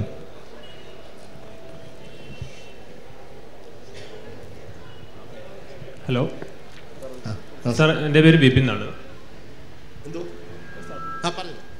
സാർ ഇവിടെ regional eating and non regional eatings ഇല്ല? അപ്പം നമ്മുടെ കേരളത്തിലുള്ള പഴയ ട്രഡീഷണൽ ഫുഡ്സും ഇപ്പോൾ കുറേ Arab Yemenese cuisines Japanese cuisines Mediterranean cuisines Greek cuisines അതൊക്കെ വരുന്നില്ലേ? അപ്പോൾ ഈ നമ്മുടെ റീജിയണൽ ഈറ്റിംഗ്സ് നമ്മുടെ ബോഡിക്ക് അഡാപ്റ്റ് ചെയ്യുന്നത് നോൺ റീജിയണൽ ഈറ്റിംഗ്സ് നമ്മുടെ ബോഡിക്ക് അഡാപ്റ്റ് ചെയ്യാനുള്ള ബുദ്ധിമുട്ടുകൊണ്ട് എന്തെങ്കിലും ഹെൽത്ത് ഇഷ്യൂസ് അങ്ങനത്തെ എന്തെങ്കിലും അത് ശരിക്കും ഒരു ഒരിക്കലും അത് അങ്ങനെ വളരെ നല്ലൊരു ചോദ്യമാണ്. ഇപ്പം പക്ഷേ ഇതൊരിക്കലും ഒരു നേരത്തെ പറഞ്ഞ പോലെ സയന്റിഫിക്കലി നമ്മളിതൊന്നും പ്രൂവ് ചെയ്തിട്ടില്ല. അപ്പോൾ നമ്മൾ ഒരു ഇതിന്റെ ഒരു ഏറ്റവും വലിയൊരു ഉദാഹരണം ഇപ്പോൾ മലയാളികൾ നമ്മളെ കേരളത്തിൽ ഇത്രമാത്രം തെങ്ങും തോപ്പൊക്കെ ഉള്ളൊരു ഭൂപ്രകൃതിയിൽ ജനിക്കുന്നതുകൊണ്ട് നമ്മുടെ ഭക്ഷണത്തിൽ തേങ്ങയുടെ വലിയൊരു ഇതുണ്ട്. നമുക്ക് തേങ്ങ ഒരു ശല്യം നമുക്ക് തേങ്ങയുടെ എല്ലാ ടെക്സ്ചറിലും കഴിക്കാൻ പറ്റും. തേങ്ങാ പാൽ ഉപയോഗിച്ചുള്ള കറികൾ തേങ്ങാ പീര നേരത്തെ പുട്ടിനകത്തിട്ട് അല്ലെങ്കിൽ ഇടിയപ്പത്തിന്റെ മുകളിൽ തേങ്ങാ പീരയിട്ട് നമ്മൾ കഴിക്കും. അല്ലെങ്കിൽ തേങ്ങാ പാൽ ഒഴിച്ചിട്ടുള്ള ഒരുപാട് തേങ്ങ അരച്ചത് അല്ലെങ്കിൽ തേങ്ങ വറുത്തരച്ചത് തേങ്ങയുടെ എല്ലാ ടെക്സ്ചറിലുള്ള ഭക്ഷണം കഴിക്കുന്നത് നമുക്കിതാണ്. പക്ഷെ വേറൊരു റീജിയനിലുള്ളവരെടുത്ത് ഈ തേങ്ങ എന്ന് പറഞ്ഞാൽ ഇപ്പോൾ ഒരു ഗുജറാത്തിലോ അല്ലെങ്കിൽ രാജസ്ഥാനിലോ ഒക്കെ ഉള്ളവരുടെ തേങ്ങ എന്ന് പറഞ്ഞാൽ അവർക്കൊരു പൂജാ സമയത്ത് അടച്ച് അടിച്ച് പൊട്ടിച്ചിട്ട് ഒരു കഷ്ണം തേങ്ങ കൊത്ത് കഴിക്കുന്നതാണ് അവർക്കൊരാശം അവർക്ക് ഡെയിലി ഇതിനെക്കുറിച്ച് ചിന്തിക്കാൻ പോലും പറ്റില്ല. അപ്പം അത് നമ്മളുടെ ഈ ഒരു നേരത്തെ പറഞ്ഞ പോലെ ഭൂപ്രകൃതിയായിട്ട് അനുസരിച്ച് ഇപ്പോൾ പുതിയ ഭക്ഷണങ്ങൾ ഓരോ രാജ്യത്തും ഈ പറഞ്ഞ പോലെ ഇപ്പം ലാസ്റ്റ് ടെൻ ഇയേഴ്സായിട്ടേ ഉള്ളൂ. അറബിക് ഫുഡ് ഇത്രയും ഇൻഫ്ലുവൻസ് ആയിട്ട് കേരളത്തിൽ എത്താൻ തുടങ്ങിയിട്ട്. അപ്പോൾ അത് എത്രമാത്രം ട്രെൻഡി ആയിട്ട് നിൽക്കും എന്നുള്ളത് ഈ- പറഞ്ഞ പോലെ നമ്മുടെ ഡിസിഷൻ മേക്കേഴ്സ് തീരുമാനിക്കുന്ന അനുസരിച്ചിട്ടാണ്. ആദ്യം പറഞ്ഞല്ലോ തൊണ്ണൂറുകളുടെ സമയത്ത് മലയാളികൾ ചൈനീസ് ഫുഡിലേക്ക് വലിയൊരു ഭ്രമമായിട്ട് ചില്ലി ചിക്കനും ചോപ്സിയും അതുപോലെ Manchurian gobi Manchurian fried rice noodles എന്നൊക്കെ പറഞ്ഞൊരു ട്രെൻഡിലേക്ക് പോയി. അതിനുശേഷം ആ ഒരു പത്ത് വർഷക്കാലം കേരളത്തിൽ ചൈനീസ് റെസ്റ്റോറന്റിന്റെ ഒരു വലിയൊരു മാറ്റം ഉണ്ടായി. പഴയ നാടൻ കടകളൊക്കെ മെല്ലെ മെല്ലെ അപ്രത്യക്ഷമായി. ഇപ്പം നിങ്ങളുടെയൊക്കെ വീടിനടുത്തൊക്കെ ഓർത്താൽ കാണാം. രാവിലെ ഇഡ്ഡലിയും ദോശയൊക്കെ ഉണ്ടാക്കി അല്ലെ ചമ്മന്തിയൊക്കെ തരുന്ന കടകളൊക്കെ അന്യം നിന്ന് പോയിട്ട് അവിടെയൊക്കെ ഇങ്ങനെയൊക്കെയുള്ള കടകൾ വന്നു. കാരണം ഇത് അഫോർഡ് ചെയ്യാൻ പറ്റാതെ അല്ലെങ്കിൽ നാട്ടുകാർക്ക് ഇതായിരുന്നു വേണ്ടത്. അതിനുശേഷമാണ് ഈ ബർഗർ അല്ലെങ്കിൽ പിസ്സ ഒരു രണ്ടായിരം ഒക്കെ ആയപ്പോഴത്തേക്ക് കുറച്ചുകൂടെ ഒക്കെ ട്രെൻഡി ആയിട്ട് ഒരു അമേരിക്കൻ കൾച്ചറിന്റെ ഒരു ഭാഗമായിട്ട് മലയാളികൾ അഡാപ്റ്റ് ചെയ്തിട്ട് ബർഗേഴ്സ് കൂടുതൽ വരുന്നത്. പിന്നീടാണ് ഈ ഗൾഫിന്റെ ഒരു കാരണം ഗൾഫ് കൺട്രീസ് കാരണം അത് നമ്മുടെ കുറച്ചുകൂടെ ഇമ്പാക്റ്റ് ഉണ്ടാക്കി. ഈ ഒരു സിറ്റിയിൽ മാത്രം ബർഗർ ഉണ്ടായിരുന്നത് ഇപ്പോൾ ഗ്രാമങ്ങളിൽ പോലും നിങ്ങൾക്ക് ഒരു ഷവർമ കിട്ടും അല്ലെങ്കിൽ അൽഫാം കിട്ടുന്ന രീതി. അത് കാരണം നമ്മൾ വളരെ ആക്റ്റീവായിട്ട് ഈ ഗൾഫ് നാടുകളിൽ നമ്മൾ മുപ്പത് ഒരു അല്ലെങ്കിൽ ഒരു തേർഡ് ജനറേഷനായി അവിടെ കുട്ടികൾ ജനിച്ചു വളർന്നു അവരുടെ. അപ്പോൾ അവിടുത്തെ കുട്ടികൾ അവിടുത്തെ ആൾക്കാരുടെ അതേ കൾച്ചറിൽ അതേ ഭക്ഷണം കഴിച്ച് തിരിച്ച് നാട്ടിലെത്തുമ്പോൾ അവർക്ക് അതേ ലോക്കൽ ഫുഡ് വേണം. അപ്പോൾ അതൊരു മാർക്കറ്റായിട്ട് അംഗീകരിച്ചുകൊണ്ടാണ് ഇത്രമാത്രം റെസ്റ്റോറന്റ്സ് നമുക്ക് കാസർഗോഡ് മുതൽ തിരുവനന്തപുരം വരെ അൽഫാം എന്നുള്ള ഒരു ബോർഡ് കാണാൻ പറ്റും നല്ല കുഴിമന്തി. കാരണം അത് ആവശ്യമായിട്ട് മാറിയതുകൊണ്ടാണ്. അപ്പോൾ അതനുസരിച്ച് ഓരോ സമയത്തും ഭക്ഷണങ്ങളുടെ ട്രെൻഡ് മാറിക്കൊണ്ടിരിക്കും. അത് ഈ പത്ത് വർഷം കഴിയുമ്പോൾ അല്ല അഞ്ച് വർഷം ഇത് എത്ര വർഷം നീണ്ടു നിൽക്കുമെന്ന് വെച്ചാൽ ഈ ഒരു യങ്സ്റ്റേഴ്സ് തീരുമാനിക്കും. ഇപ്പോൾ ഉള്ള പതിനാറ് മുതൽ ഇരുപത്തിരണ്ട് വയസ്സുകാരാണ് ഈ തീരുമാനിക്കുന്നത് ഏത് ഭക്ഷണം ഈ നാട്ടിൽ ട്രെൻഡായിട്ട് വരണമെന്നുള്ള അവർ ഒരു കോളേജിലുള്ള ഒരു പയ്യൻ അപ്പോൾ അവർ ഗ്രൂപ്പായിട്ട് തീരുമാനിക്കുകയാണ് നമുക്കിന്ന് മന്തി കഴിക്കാം നമുക്കിന്ന് മന്തി കഴിക്കാം. അവർക്ക് ആ ഒരു പൊറോട്ട ചിക്കൻ കറി വേണ്ട എന്ന് തീരുമാനിച്ചാൽ ഇതിങ്ങനെ വരുന്നത്. അപ്പോൾ തീർച്ചയായിട്ടും ഇത് നമ്മൾ പരമ്പരാഗതമായിട്ട് ഭക്ഷണം കഴിച്ച് നമ്മുടെ സാഹചര്യങ്ങളുമായിട്ട് ജീവിക്കുന്ന മലയാളിക്ക് പെട്ടെന്ന് ഒരു പുതിയ ഭക്ഷണം വന്നാൽ ഒരുപക്ഷെ പ്രശ്നങ്ങളുണ്ടാകും പക്ഷേ മലയാളികൾ ട്രാവൽ ചെയ്ത് ലോകം മുഴുവൻ പോയിക്കൊണ്ടിരിക്കുന്ന ഒരു സമൂഹമാണ്. അപ്പോൾ അവർ അവരെ സംബന്ധിച്ച് ഇതെല്ലാം ഏതെങ്കിലുമൊക്കെ രാജ്യത്ത് ഇപ്പോൾ നമുക്കറിയാം നമ്മുടെ നാട്ടിൽ നിന്നുള്ള കുടിയേറിക്കൊണ്ടിരിക്കുകയായതുകൊണ്ട് ഈ ഭക്ഷണങ്ങളോ ഈ സിസ്റ്റങ്ങളോ ഒക്കെ ഏറ്റവും വേഗത്തിൽ അഡാപ്റ്റ് ചെയ്യുന്ന ഒരു സമൂഹമാണ് മലയാളികൾ. സാർ ഒരു വളരെ സന്തോഷമുണ്ട് സാറിന്റെ സെഷൻ കേൾക്കാൻ. ഒരു ഡോക്ടറുടെ സെഷൻ അല്ല പക്ഷേ ഫുഡാണ് ഏറ്റവും ഇമ്പോർട്ടന്റ് എന്നുള്ളതുകൊണ്ടാണ് ഈ വെയിലും കൊണ്ട് ഇത്രയും ആളുകൾ കേട്ട് നിൽക്കുന്നത്. വളരെ സന്തോഷം. സാർ എനിക്ക് ചോദിക്കാനുള്ളത് നമ്മുടെ ഈ ഭക്ഷണത്തിൽ കൂടുതലായിട്ടും ആളുകൾ ട്രാൻസ്ഫാറ്റ് ഡാൾഡ ഒക്കെയാണ് യൂസ് ചെയ്യുന്നത്. ഇപ്പോൾ ഡാൾഡ ഒരു മുട്ടുസൂചി തോണ്ടിയെടുക്കുന്ന ക്വാണ്ടിറ്റി പോലും മാനികരാണെന്ന് വേൾഡ് ഹെൽത്ത് ഓർഗനൈസേഷൻ പറഞ്ഞിട്ടുള്ളതാണ് പക്ഷേ ഇവിടുത്തെ ഡോക്ടർമാരോ ആരോ ആരും ഇത് തുറന്നു പറയത്തില്ല. അവരുടെ ജീവിതം നിലനിൽക്കണമെങ്കിൽ ആളുകൾ ധാരാളമായിട്ട് ഡാൽഡ ഉപയോഗിക്കുകയും രോഗികളായി മാറുകയും ചെയ്യണമോ എന്ന് പോലും നമുക്ക് തോന്നും. ഞാൻ ഒരു ക്വസ്റ്റ്യൻ രണ്ടാമത്തെ ക്വസ്റ്റ്യൻ ഇപ്പോൾ ആളുകൾ ഇവിടെ വെജിറ്റേറിയൻ ഫുഡിന് എന്തോ വലിയ സംഭവമായിട്ട് പറയുന്നുണ്ട്. ശരിക്കും വെജിറ്റബിളും പ്രോട്ടീനും അല്ലേ കഴിക്കേണ്ടത്? ഞാൻ ഡോക്ടർ ഗംഗാധരന്റെ സെഷൻ കേട്ടപ്പോൾ അദ്ദേഹം പറഞ്ഞത് ഫുഡിൽ വേണ്ടത് പ്രോട്ടീനും വെജിറ്റബിൾസും ഫ്രൂട്ട്സും വളരെ ചെറിയ ക്വാണ്ടിറ്റി മാത്രം കാർബോഹൈഡ്രേറ്റുമാണ് ഇവിടെ സാറ് വളരെ കൃത്യമായിട്ട് വളരെ വളരെ പറഞ്ഞ സന്തോഷം പറഞ്ഞു കാർബോഹൈഡ്രേറ്റ് ആണ് അവിടെ ആളുകൾ കൂടുതലായി കഴിക്കുന്നത് ഫുൾ കാർബോഹൈഡ്രേറ്റ് ആണ്. അതുകൊണ്ട് തന്നെയാണ് ഇവിടെ എല്ലാവരും പ്രമേഹ രോഗികളായി മാറുന്നത്. പ്രമേഹ രോഗം വന്നു കഴിഞ്ഞാൽ എല്ലാ രോഗത്തിലേക്കുള്ള താക്കോലാണ്. കിഡ്നി പോവും ലിവർ പോവും എല്ലാവരും പോവും. അപ്പോൾ ഇവർക്ക് വളരെ സന്തോഷമാണ്. ഇവർക്ക് നല്ലൊരു ഇൻകം കിട്ടും. സാറ് എനിക്ക് പറയാനുള്ളതാണ് ഈ ഡാൽഡയെ കുറിച്ച് സാർ ഒരു അവയർനെസ് ജനങ്ങളിൽ സംഘടിപ്പിക്കുമോ ട്രാൻസ്ഫാറ്റിനെ കുറിച്ച്. ഒരു മുട്ടുസൂചി കൊണ്ട് ഇവിടെ ബിരിയാണിയിലൊക്കെ അത്രയും ആണ്. ഞാൻ ഇരുപത് കൊല്ലം മുമ്പ് സമരം ചെയ്തതാണ് ഇതിനെടുത്തില്ലേ അപ്പോൾ ബ്രെഡിൽ ഒക്കെ എഴുതി വെക്കാൻ തുടങ്ങി നോ ട്രാൻസ്ഫാറ്റ് എന്ന്. ഇപ്പോൾ ബിരിയാണി ഫുൾ ട്രാൻസ്ഫാറ്റ് ആണ്. അതിന്റെ പുറത്ത് നോ ട്രാൻസ്ഫാറ്റ് എന്ന് എഴുതി വെക്കില്ല. ഡാൽഡ ഇട്ട ബിരിയാണിയാണ് ലോകത്തിൽ ഈ കല്യാണത്തിന് ചോറുന്നാ വയ്യ സാറൊന്ന് പറയുകയാണെങ്കിൽ ഒരു ബിരിയാണി കഴിക്കണമെന്നുണ്ട് നെയ്യ് നെയ്യ് നെയ്യിട്ടത്. നെയ്യ് നോ ഡാൽഡ നെയ്യല്ല അതൊന്ന് പറയൂ sir. Thank you sir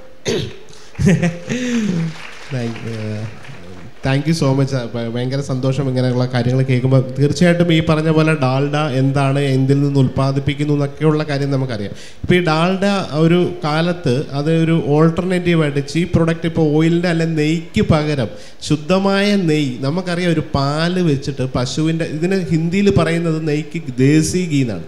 അപ്പോൾ ദേശി ഗീക്ക് ഹിന്ദിയിൽ പറയുന്ന പേര് തന്നെ വെറും ഗീ എന്നല്ല ദേശി ഗീ എന്നായിട്ടാണ് പറയുക.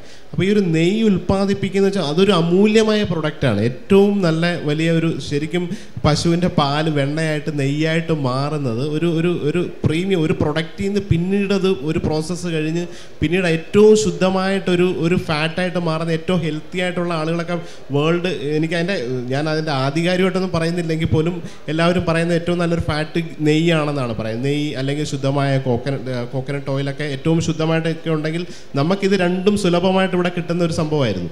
അപ്പോൾ ഈ ഇത് വെച്ചിട്ടാണ് ഈ ഒരു നെയ്യാണ് ബിരിയാണിയുടെ ഏറ്റവും ആദ്യത്തെ ഇപ്പം എന്റെ ഏറ്റവും വലിയ രസം എന്നൊക്കെ പറയുന്നത് നമ്മൾ ഈ ലണ്ടനിലൊക്കെ ജോലി ചെയ്യുന്ന സമയത്ത് അവിടുത്തെ അറബ് ഫാമിലീസിന്റെയൊക്കെ ഗെറ്റ് ടുഗദർ അവരുടെ പാലസിലെ ഡിന്നേഴ്സ് അവരുടെ ഒരു വലിയ ഒരു ഡിപ്ലോമാറ്റിക് ഡിന്നറിനൊക്കെ വരുമ്പോൾ അവർ അവരുടെ ഷെഫുമാരെ കൊണ്ടുവന്നിട്ട് കൊണ്ടുവരുന്ന ഇൻഗ്രീഡിയൻസ് ഉണ്ട്. അവിടുത്തെ ബിരിയാണീസ്. അല്ലെ ഈ ബിരിയാണിയൊക്കെ നമുക്കറിയാം പേർഷ്യയിൽ നിന്നും അല്ലെങ്കിൽ മറ്റ് സ്ഥലങ്ങളിലൊക്കെ കേരളത്തിലേക്ക് വരികയും മാപ്പിള ക്യൂസിലേക്ക് വന്നിട്ട് ബിരിയാണി നമ്മുടെ ഭാഗമായതാണ്. അതിന്റെ വകഭേദമായിട്ട് മലബാർ ബിരിയാണി അല്ലെങ്കിൽ തലശ്ശേരി ബിരിയാണി എന്നൊക്കെ പറഞ്ഞിട്ട് പല രീതിയിൽ അതിന്റെ രുചിഭേദങ്ങളൊക്കെ മാറി. ഇതിന്റെ ഒറിജിനൽ നമുക്കറിയാം ഇത് കേരളത്തിലുള്ള എല്ലാ പേർഷ്യയിൽ വന്നതാണ്. അപ്പോൾ അവരൊക്കെ ഈ ശുദ്ധമായ നെയ് വെച്ചിട്ട് മാത്രമാണ് ഇത് ഉണ്ടാക്കുന്നത്. അപ്പോൾ ഇതിന് ചീപ്പായിട്ട് നിങ്ങൾക്ക് നൂറ് രൂപയ്ക്ക് ബിരിയാണി തരാൻ വേണ്ടിയിട്ടാണ് മറ്റുള്ളവർ ഈ ഒരു സംഭവങ്ങൾ. ഇതേപോലുള്ള നോൺ നമുക്ക് ഇത്രമാത്രം ബിരിയാണി ഇപ്പോൾ ഡാൽഡ അതുപോലെ തന്നെ പൊറോട്ട സോഫ്റ്റായിട്ട് ഇപ്പോൾ ഈ നമുക്ക് വളരെ സോഫ്റ്റ് ആയിട്ട് ഒരു പൊറോട്ട കിട്ടി അന്നേരം ചൂടോടുകൂടി കഴിക്കുമ്പം നമുക്ക് സോഫ്റ്റ് ആയിട്ട് വരാൻ വേണ്ടിയിട്ട് ഡാൽഡ ഉപയോഗിക്കുന്നുണ്ട്. പക്ഷേ ആ ഡാൽഡ ഇല്ലാതെ ഉപയോഗിച്ചാലും പൊറോട്ട നല്ല സോഫ്റ്റ് ആണ്.